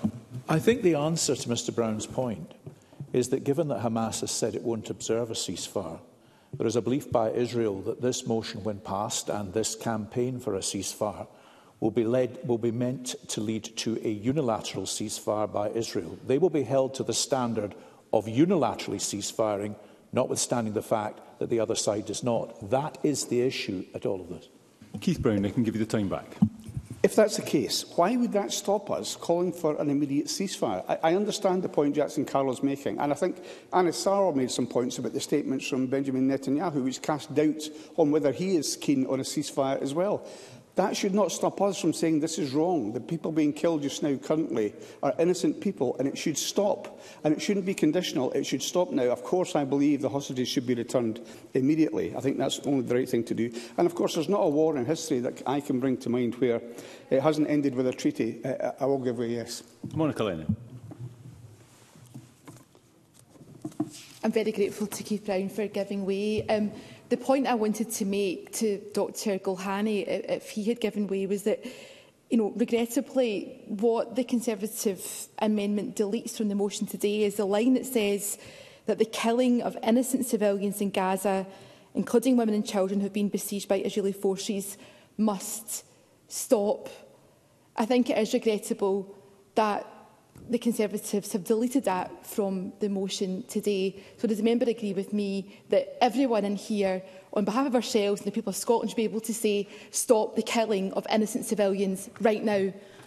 Keith Brown again, I can give you the time. I do agree with that point. Um, and I think that would be a very powerful thing if this Parliament was to agree with one voice to say whatever doubts we have about the good faith on either side, that we think, regardless, there should be an immediate ceasefire to save the lives that Monica Lennon is talking about. I can tell that much of my time has gone. There's one uh, particular other point I wanted to make, and that is about the fact that this really has to be this. If the one thing that can come out of this is a real, genuine attempt to get to a two-state solution, so that both Israel and Palestine Palestine can live in peace and security.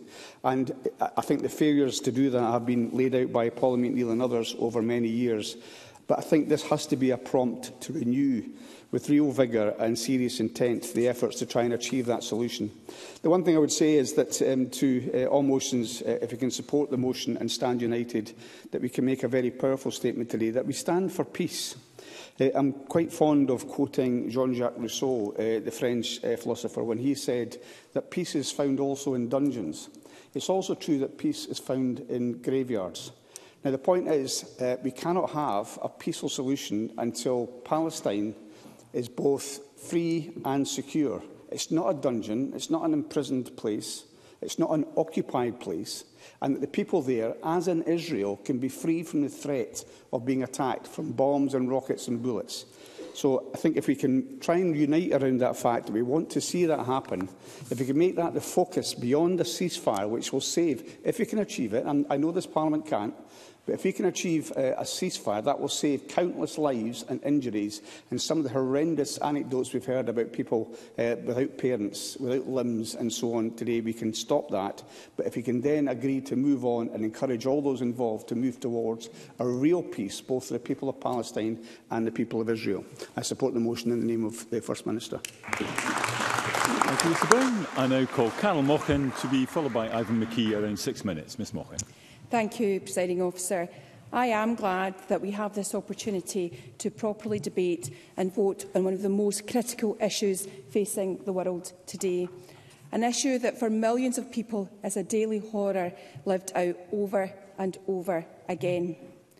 It is right, as others have said, we as elected members of the Scottish Parliament add our voices to the overwhelming majority of aid agencies, human rights organisations and those parliaments across the world who have condemned the violence and seek an immediate ceasefire.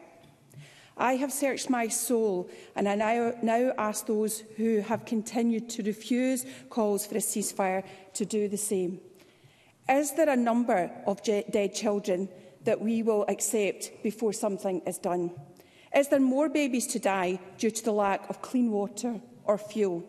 Is there an amount of sick and uninjured people left to die due to lack of treatment that we are happy to cast off as a consequence of war? Pauses are not enough. There is nothing humanitarian about a pause in these dire times. Yes, a pause in the fighting may save lives, but let's be clear All the aid agencies on the ground agree. Pause suggests that bombardment can resume and carry on once people are fed and have had some water. A pause is no good for people fearing imminent death. I have asked myself so many times, why is there such indifference from those in power to a country quite literally erased as we watch on? The rhetoric from the UK Government does not represent the view of ordinary people. Sunak is not living up to his responsibilities by ignoring the extent of this human tragedy. Of course.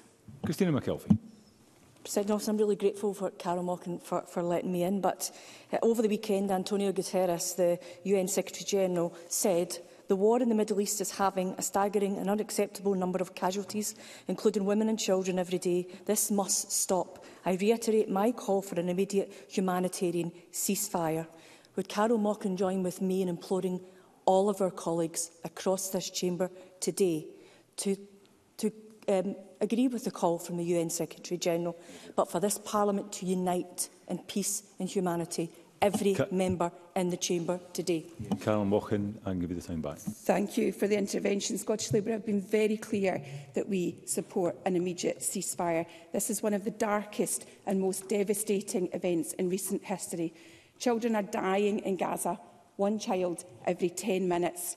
Mothers are giving birth with no pain relief and families are being torn apart. And yet, and that you, you, those who may have some influence, some power to intervene, appear inexplicably unwilling to do so. We like to tell ourselves in the West that we have some sort of moral leadership to offer the world. Where is it now? Where is it now? Why can we not find it in this time of need? Presiding officer, Israel has the right to respond and ensure the release of all hostages following the horrific attacks of Hamas on 7th of October, which I condemn. Actions which were callous and have led to a needless loss of innocent lives. The action we have seen since is disproportionate. Self-defence is not dropping tons of bombs into residential areas, striking hospitals, indiscrim indiscriminately killing children or withholding medicine and aid from people in desperate need This is not self-defence. It is illegal. It is human, inhumane. Plain and simple. It must stop.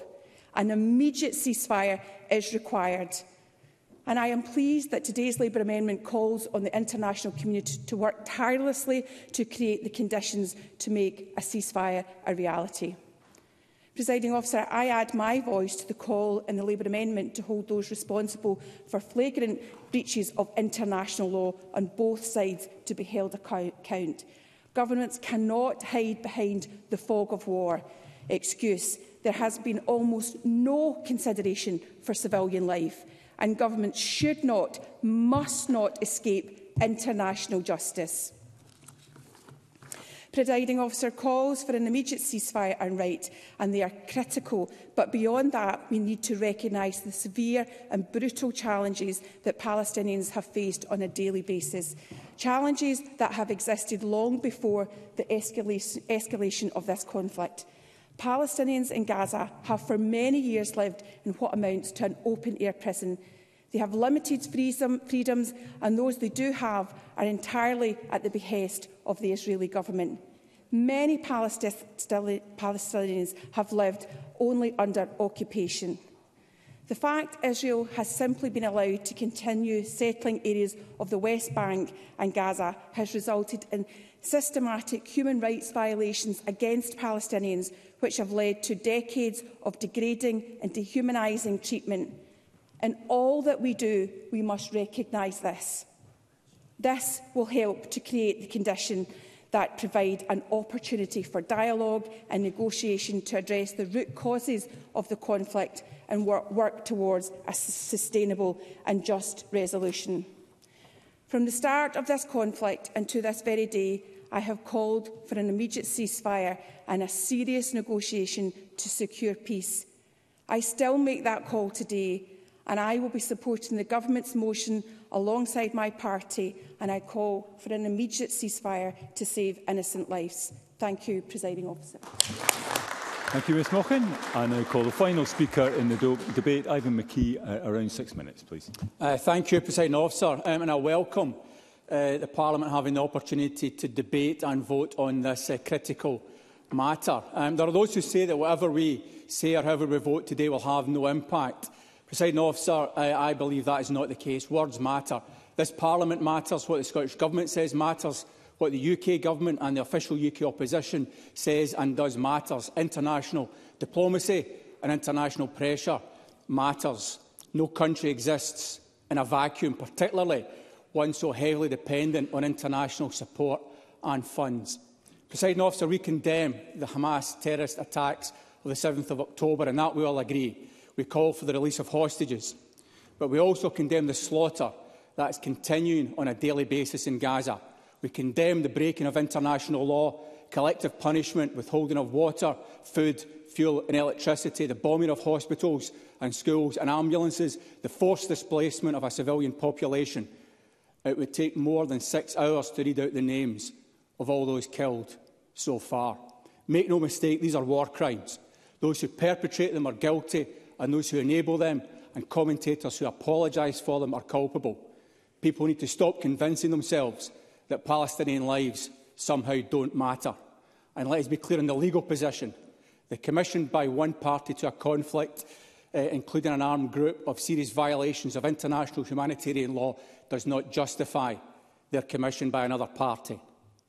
We also condemn what has been happening in the West Bank, where settler violence continues More than 300 Palestinians killed so far this year, most of them prior to 7th of October, giving the lie to those who argue that Israeli violence has only been in response to the events of that day. Because make no mistake, violence against Palestinians, the stealing of their land, ethnic cleansing and illegal occupation didn't start on October the 7th. This is a deliberate policy that has been going on for 75 years and more. Ross Gear has rightly highlighted the activities with the Jewish terrorist militia, the Irgun, their killing of civilians, bombing of the King David Hotel and many other incidents. Unfortunately, terrorism in this part of the world isn't new. Presiding officer, much has been said, and rightly so, of the need for community cohesion here in Scotland, for the need to call out anti-Semitism, Islamophobia and racism in all its forms, and that is of critical importance. We need to listen to all voices from those communities, and recognise that those communities are not a monolithic block, but contain within them those with diverse opinions. President Officer, I was proud to join many thousands of protesters in Glasgow at the weekend to call for an immediate ceasefire now.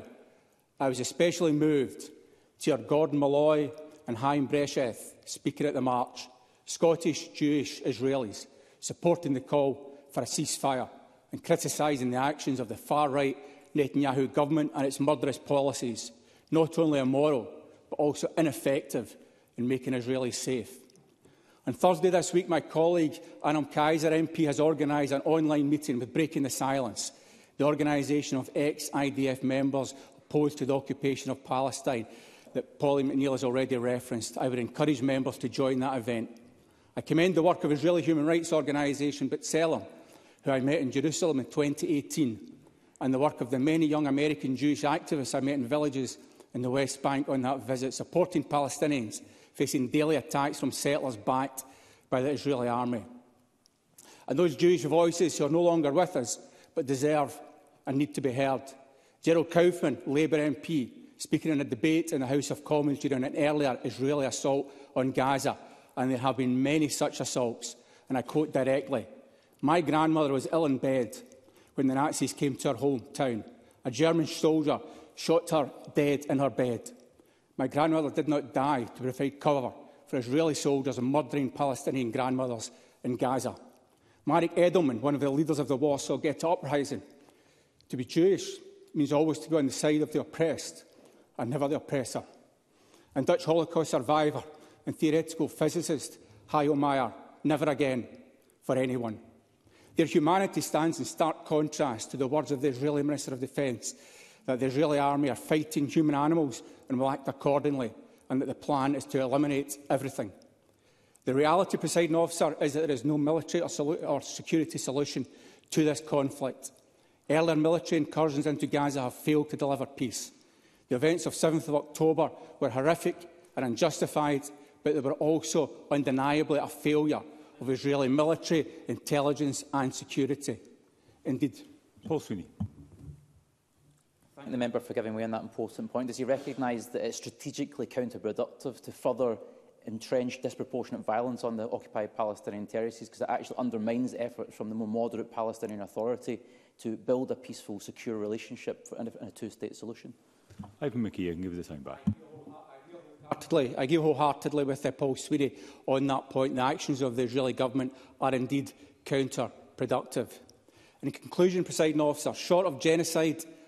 or the ethnic cleansing of five and a half million people, the equivalent of the entire population of Scotland, there must be a negotiated solution. We cling to the language of the two-state solution, although the reality of facts on the ground created by illegal settlements over the 30 years since Oslo makes that increasingly difficult.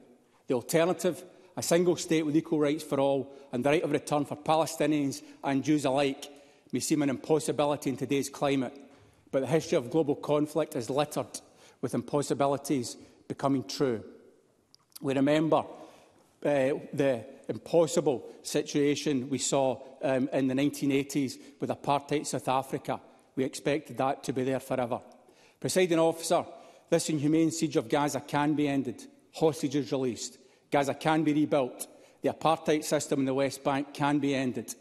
All people, Israelis and Palestinians between the river and the sea, can live in peaceful liberty.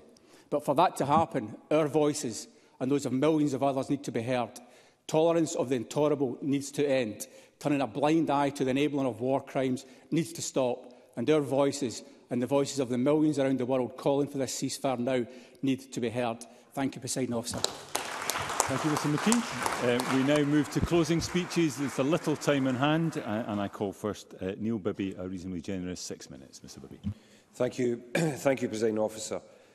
The subject of today's debate is one of the most challenging and complex issues we have ever discussed in this Parliament. And I agree profoundly with former US President Barack Obama when he said recently about this conflict that If there's any chance of us being able to act constructively to do something, it will require an admission of complexity and maintaining what on the surface may seem contradictory ideas. That what Hamas did was horrific and there's no justification for it, and that the occupation and what's happening to Palestinians is unbearable. He went on, if you genuinely want to change this, then you've got to figure out how to speak to somebody on the other side and listen to them and understand what they're talking about. And I think there's been a recognition today from members across the Chamber of how difficult, but also how important that is. And the tone of today's debate, the consensual tone, has reflected that, as well as we've heard passionate and excellent contributions on what is, for good reason, a highly emotive issue. And I think that tone was set by the First Minister, Donald Cameron and Asawa and Alex Cole-Hamilton in opening. And for the first one hour and 20 minutes of this debate, there was not a single intervention. That's an observation, not a criticism. It was important the interventions we did here were listened to. But I think it speaks to a debate where we've had to recognise this challenging situation and the need to listen respectfully to one another. Presiding Officer, the events of 7th of October, as members have said, were a horrific and barbaric act of terror that can never be justified, and there has been rightly unequivocal condemnation of Hamas from members across this chamber. They are a terrorist organisation, avowedly anti-Semitic and genocidal. Like Alec Cole Hamilton, the images I've seen provided by the Israeli embassy are scenes I wish I'd never seen. Presiding officer, as the First Minister in opening said, we must be unequivocal. Like any state, Israel has the right to defend itself and its people, not least from indiscriminate terrorist attack. Israel has also a justifiable fear that this could happen again, not least in the face of Hamas's recent appalling comments that they would repeat the systematic slaughter carried out six weeks ago until Israel is exterminated. That appalling statement is condemned in the Labour Amendment, which I urge all members to support. But also, like any other state, Presiding Officer, Israel has the responsibility to exercise restraint and proportion in its response to these atrocities. We would expect that of the British Government and our armed forces. We should expect that of Israel too. And as Carol Mockin and others have said, there is a responsibility to act in accordance with international law. The ICC Chief Prosecutor has been clear that alleged war crimes by Israelis on Palestinian territory and by Palestinians on Israeli territory are within the jurisdiction of its ongoing Palestine investigation. Presiding officer, the Israeli government's actions in relation to killing of so many innocent Palestinians and the cutting off of food, fuel and water supplies have been rightly condemned. The Palestinian people are not Hamas, and Hamas are not the Palestinian people. As Pauline O'Neill powerfully articulated, what is happening right now in Gaza is a humanitarian catastrophe, and the deaths of innocent civilians and the images coming out of Gaza are equally heartbreaking. That is why we need an immediate ceasefire. We need to recognise that the only way the hope of peace can possibly be realised is by recognising that every life is equal. For a ceasefire to happen, however, and stated in the First Minister's motion, we need to see the immediate release of hostages, and we powerfully heard the names of so many hostages read out by Megan Gallagher e- earlier. And we also need to see immediate access to humanitarian aid, such as water, food, medicine and fuel into the Gaza Strip. But as Anas Sarwar has also said, we must recognise that a ceasefire is only possible if both sides are willing to comply. Benjamin Netanyahu has made clear he will not support a ceasefire, and Hamas is committed to continue rocket fire and to repeating the 7th October attacks. We therefore have to use every form of diplomacy with international partners to change conditions on the ground to make a ceasefire a reality. President Officer, when Donald Dewar opened this Parliament, he said this place was about more than our politics and laws. This is about who we are and how we carry ourselves. As Phil McGregor, Keith Brown and Ivan McKee said, we can and should debate global issues, particularly when it affects so many people living here as well as in the Middle East. But we should carry ourselves in a way that does not see this complex issue through our domestic politics or seek to take political advantage. And we've almost entirely been, that's almost entirely been the case today, and that is to members' credit, particularly members like Bill Kidd, who's right to say that this issue is above party politics. Because Parliament works best when we work together, and we have broad agreement on a number of issues here today.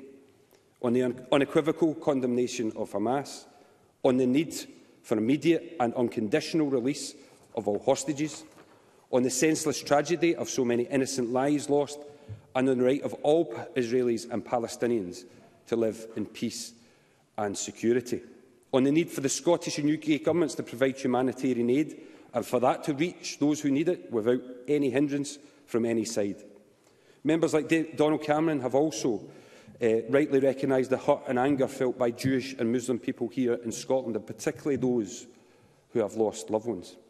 Certain communities are fearful of an increase in Islamophobia and anti-Semitic hate crimes. We stand with our Jewish, Muslim and all communities against hate. Presiding officer, this feels like an incredibly bleak time, and it is. The journalist Matt Fry has talked about in this dark period there still being embers of hope, and we must rekindle those embers of hope. Whilst we debate this now, we, we hope that meaningful discussions can result in the release of hostages and a ceasefire.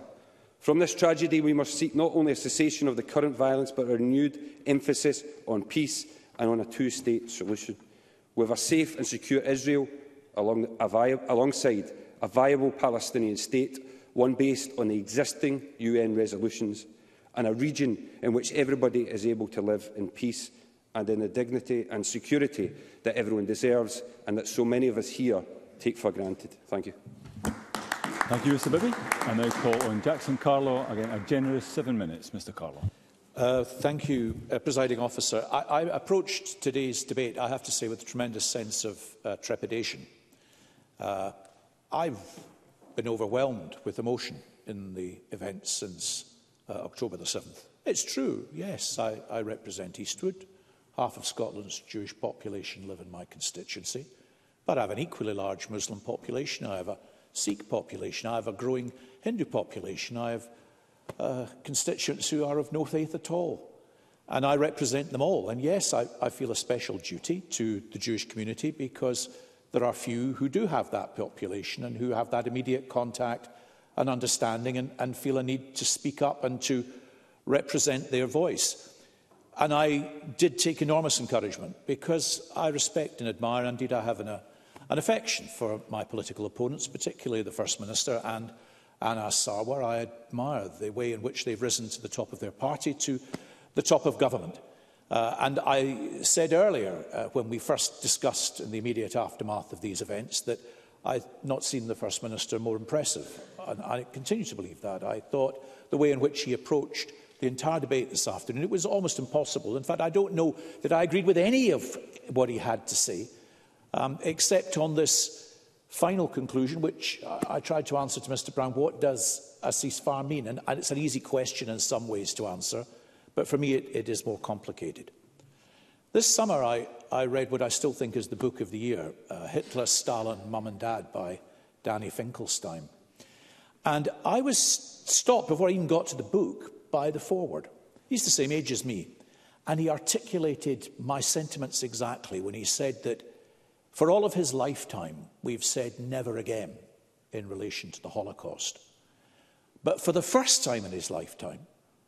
while he didn't think it was probable it could happen again, he thought it was suddenly possible that it could happen again. And that kind of summed up my fear as well. All the optimism I had when the wall came down and when the peace in Northern Ireland was achieved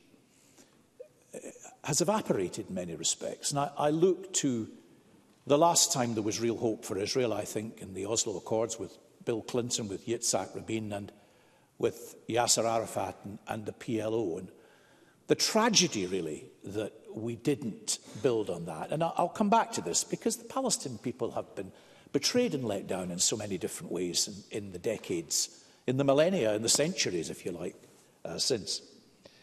But on that day, on October the 7th, as the First Minister himself said, more Jews were killed, murdered, than in any single day since the Holocaust. And I don't know if this chamber fully understands the trauma to the entire population of the State of Israel.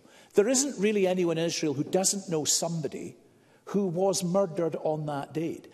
And those of us, and Neil Bibby referred to it, who have seen the body cam footage recovered from those that committed those acts will have seen, well, in a moment, the bestiality, the defilement of the corpses, and should understand that this isn't to me about Palestine and Israel so much as about Hamas and Jews and the absolute resolve of that terrorist group harbored within Gaza, on whom so much is now being visited, and what they inflicted on the people of Israel that day. And that is what manifestly moves so many people of Jewish faith wherever they happen to live. And yet, in the face of that, and I want to touch just in the first half, then return to the substance of the debate. Um, Scotland's senior rabbi, uh, Moshe Rubin, talked about his conversations last week at a reception with Her Royal Highness the Princess Royal with Arabs and people of other faith and the hope that comes from that. The chief rabbi, Sir Ephraim Mervis, to whom I referred coming to my constituency to celebrate the 60th anniversary of Calderwood Lodge, the subject of my members' debate tomorrow, and his engagement under the leadership of His Majesty the King, who has been so clear, and the same interfaith conversations taking place uh, across uh, the rest of the United Kingdom. How we must pray and work and hope and toil to ensure that this conflict is not visited on our communities here. That must be the one thing we can influence and determine an outcome. You know, a week on Saturday, quite by accident, I walked right into the march in Buchanan Street. I'd been out for lunch. Um, and I was dressed in green and black. And I bumped into a very close Muslim friend. In fact, the son of someone I'm also very close to. He said, Jackson, you're in the wrong colours. He said, what are, you, what are you doing? But I stood there and I watched those marching. And I saw in the faces and the families Not, not a campaign against Israel, but a campaign for Palestine and for justice for the people of Palestine. And as I said a moment before, they've been betrayed. They've been let down by broken promises internationally. They've been collapsed hopes, violent belligerence, and a failure to negotiate. And, you know, really since the 1990s, they've lived in a hope and really not the reality of the international movement collectively acting to resolve those difficulties. And so I, uh, absent though, I suppose, were placards that might help, that said, you know, release the hostages or expel Hamas, because those are the conditions that are needed for us at least to get to the, the first stage going forward. And, you know, if international politics has been defined by the events of 9 11 20 years ago, I fear for the rest of my lifetime now and for this issue for the next 30 years will be defined by the events of October the 7th and the response of Israel and the trauma that's been visited on Gaza since. And, and that is a tragedy. I don't think we are in, if I'm being pragmatic and realistic, an atmosphere where we can expect meaningful progress. And that is the biggest tragedy of all. And yes, collectively, I hope We can join voices internationally to work to overcome that, but it stands as the greatest obstacle to progress. Can I support the motion? There's so much that we've agreed with, so many speeches I've agreed with. I've, I've even seen things within those who've been fiercely critical of Israel that I can understand and respect too. Do, do I apologize for everything Israel has done? No, I, I don't. Do I apologize for anything Israel's done over the last 30 or 50 years? No, I, I don't. But do I understand why right now a unilateral ceasefire by Israel, which is the practical consequence, I fear, of this motion, will not lead to a reciprocal move by Hamas, but will allow it to consolidate and do exactly what speakers have said during the course of this debate, which is to carry on the very, vict the very campaign of violence against Jews that they have promised they will. And it is that difficulty which causes me to hesitate, even though I feel overwhelmed and somewhat inadequate to the debate in which I've just participated. Uh, I want to thank all those who have. As I say, it's been deeply emotional, deeply troubling. And let me say finally that it, my Jewish constituents, I know, feel the pain, suffering and loss of everybody in Gaza equally. They've said it, they breathe it, they live it. Uh, it unites us all. But it's, a,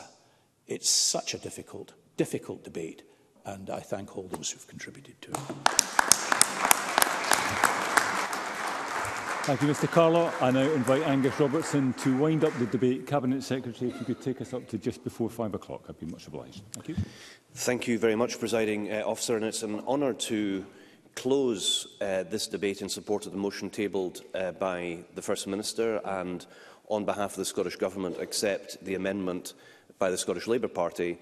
And may I begin in welcoming the widespread consensus that we've heard about much this afternoon. Donald Cameron was uh, absolutely right to pay tribute to the First Minister's measured and eloquent speech.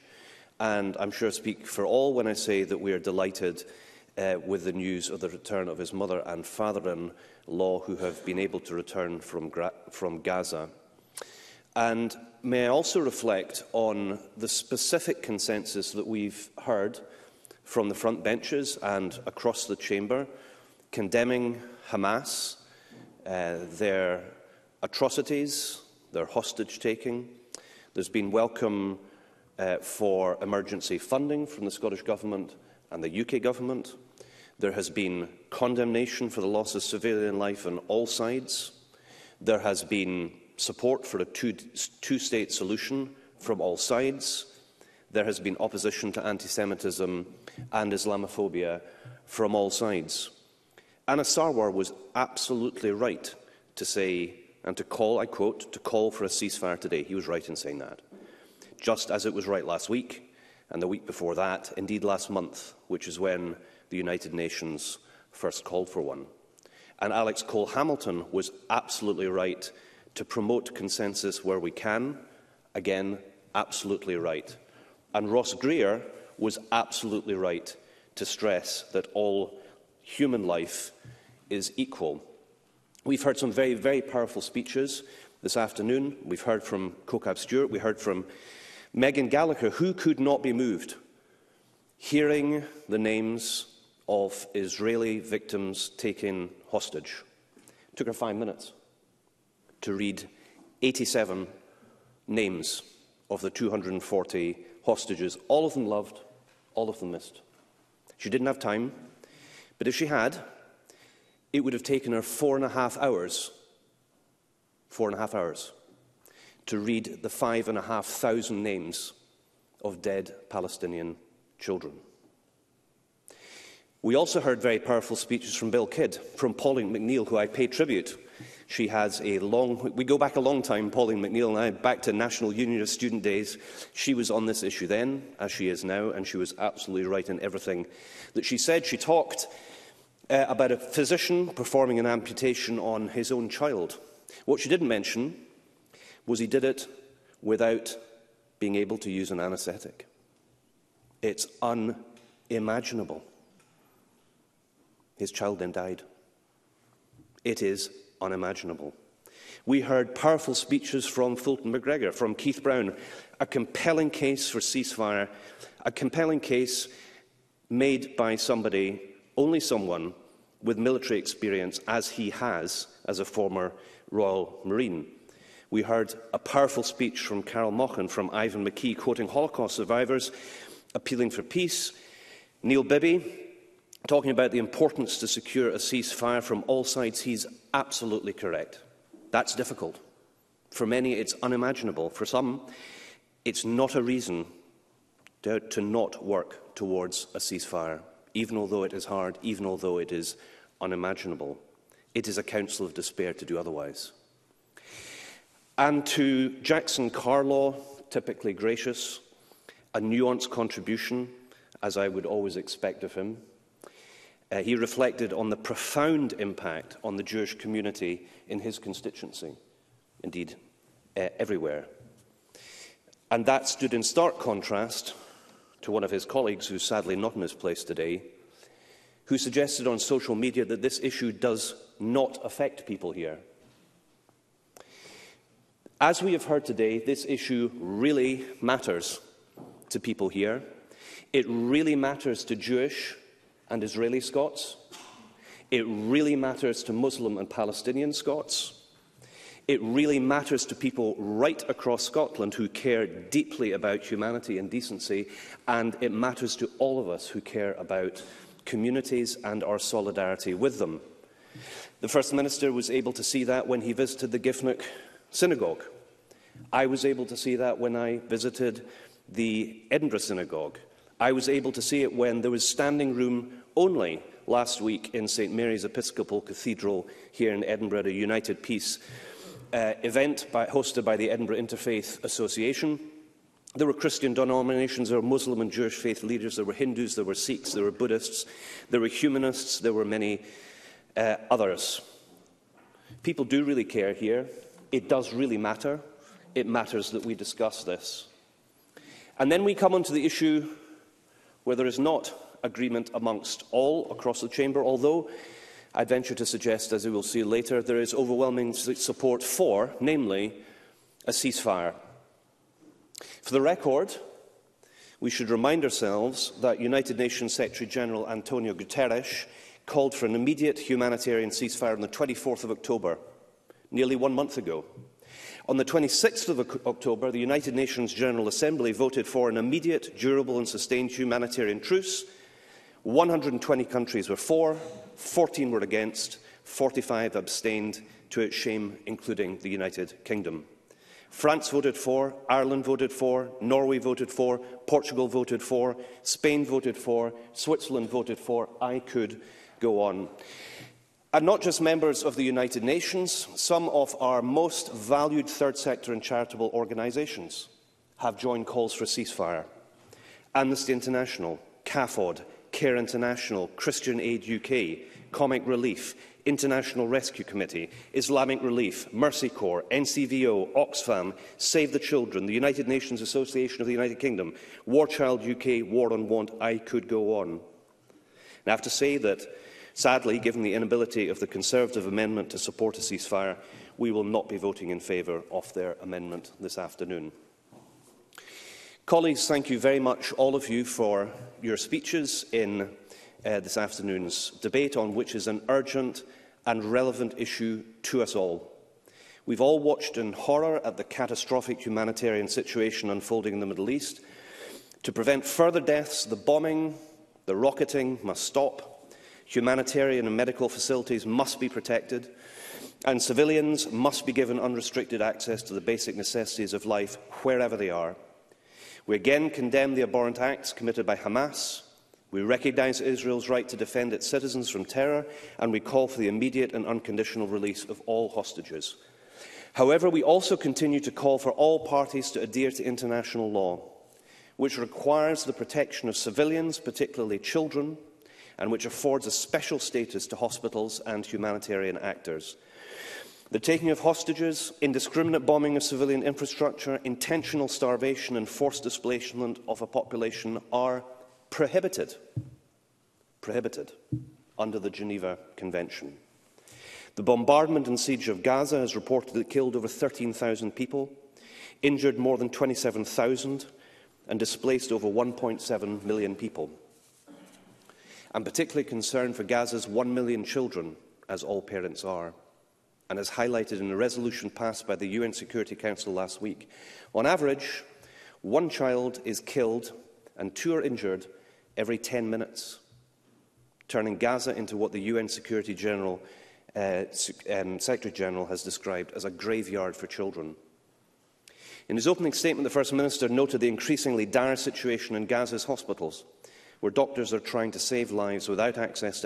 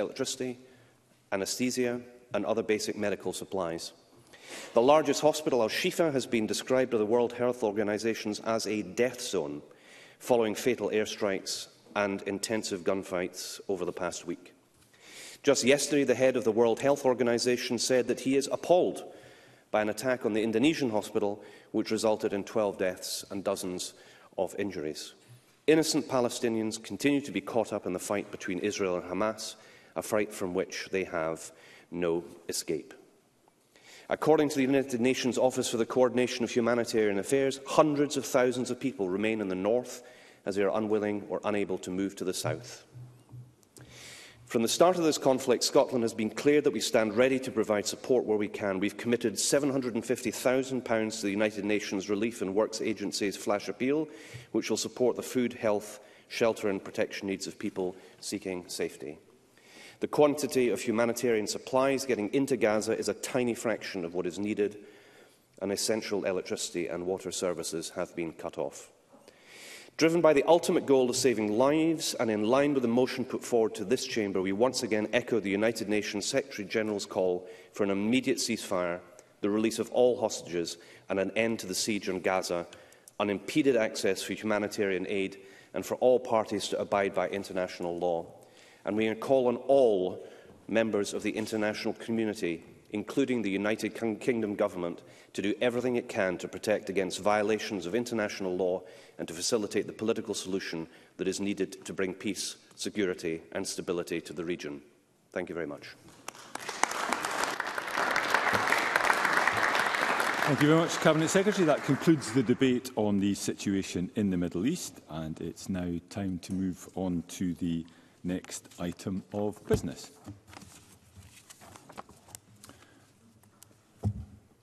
We now arrive at decision time. I note that Alex Hall-Hamilton did not move the published amendment uh, this afternoon. Therefore, there are three questions to be put uh, as a result of today's business. The first question is the Amendment 11342.2 in the name of Donald Cameron, which seeks to amend Motion 11342 uh, in the name of Hamza Youssef on the situation in the Middle East be agreed. Are we all agreed? Parliament is not agreed. Therefore, we will move to a vote and there will be a brief suspension to allow members uh, to access the digital voting system.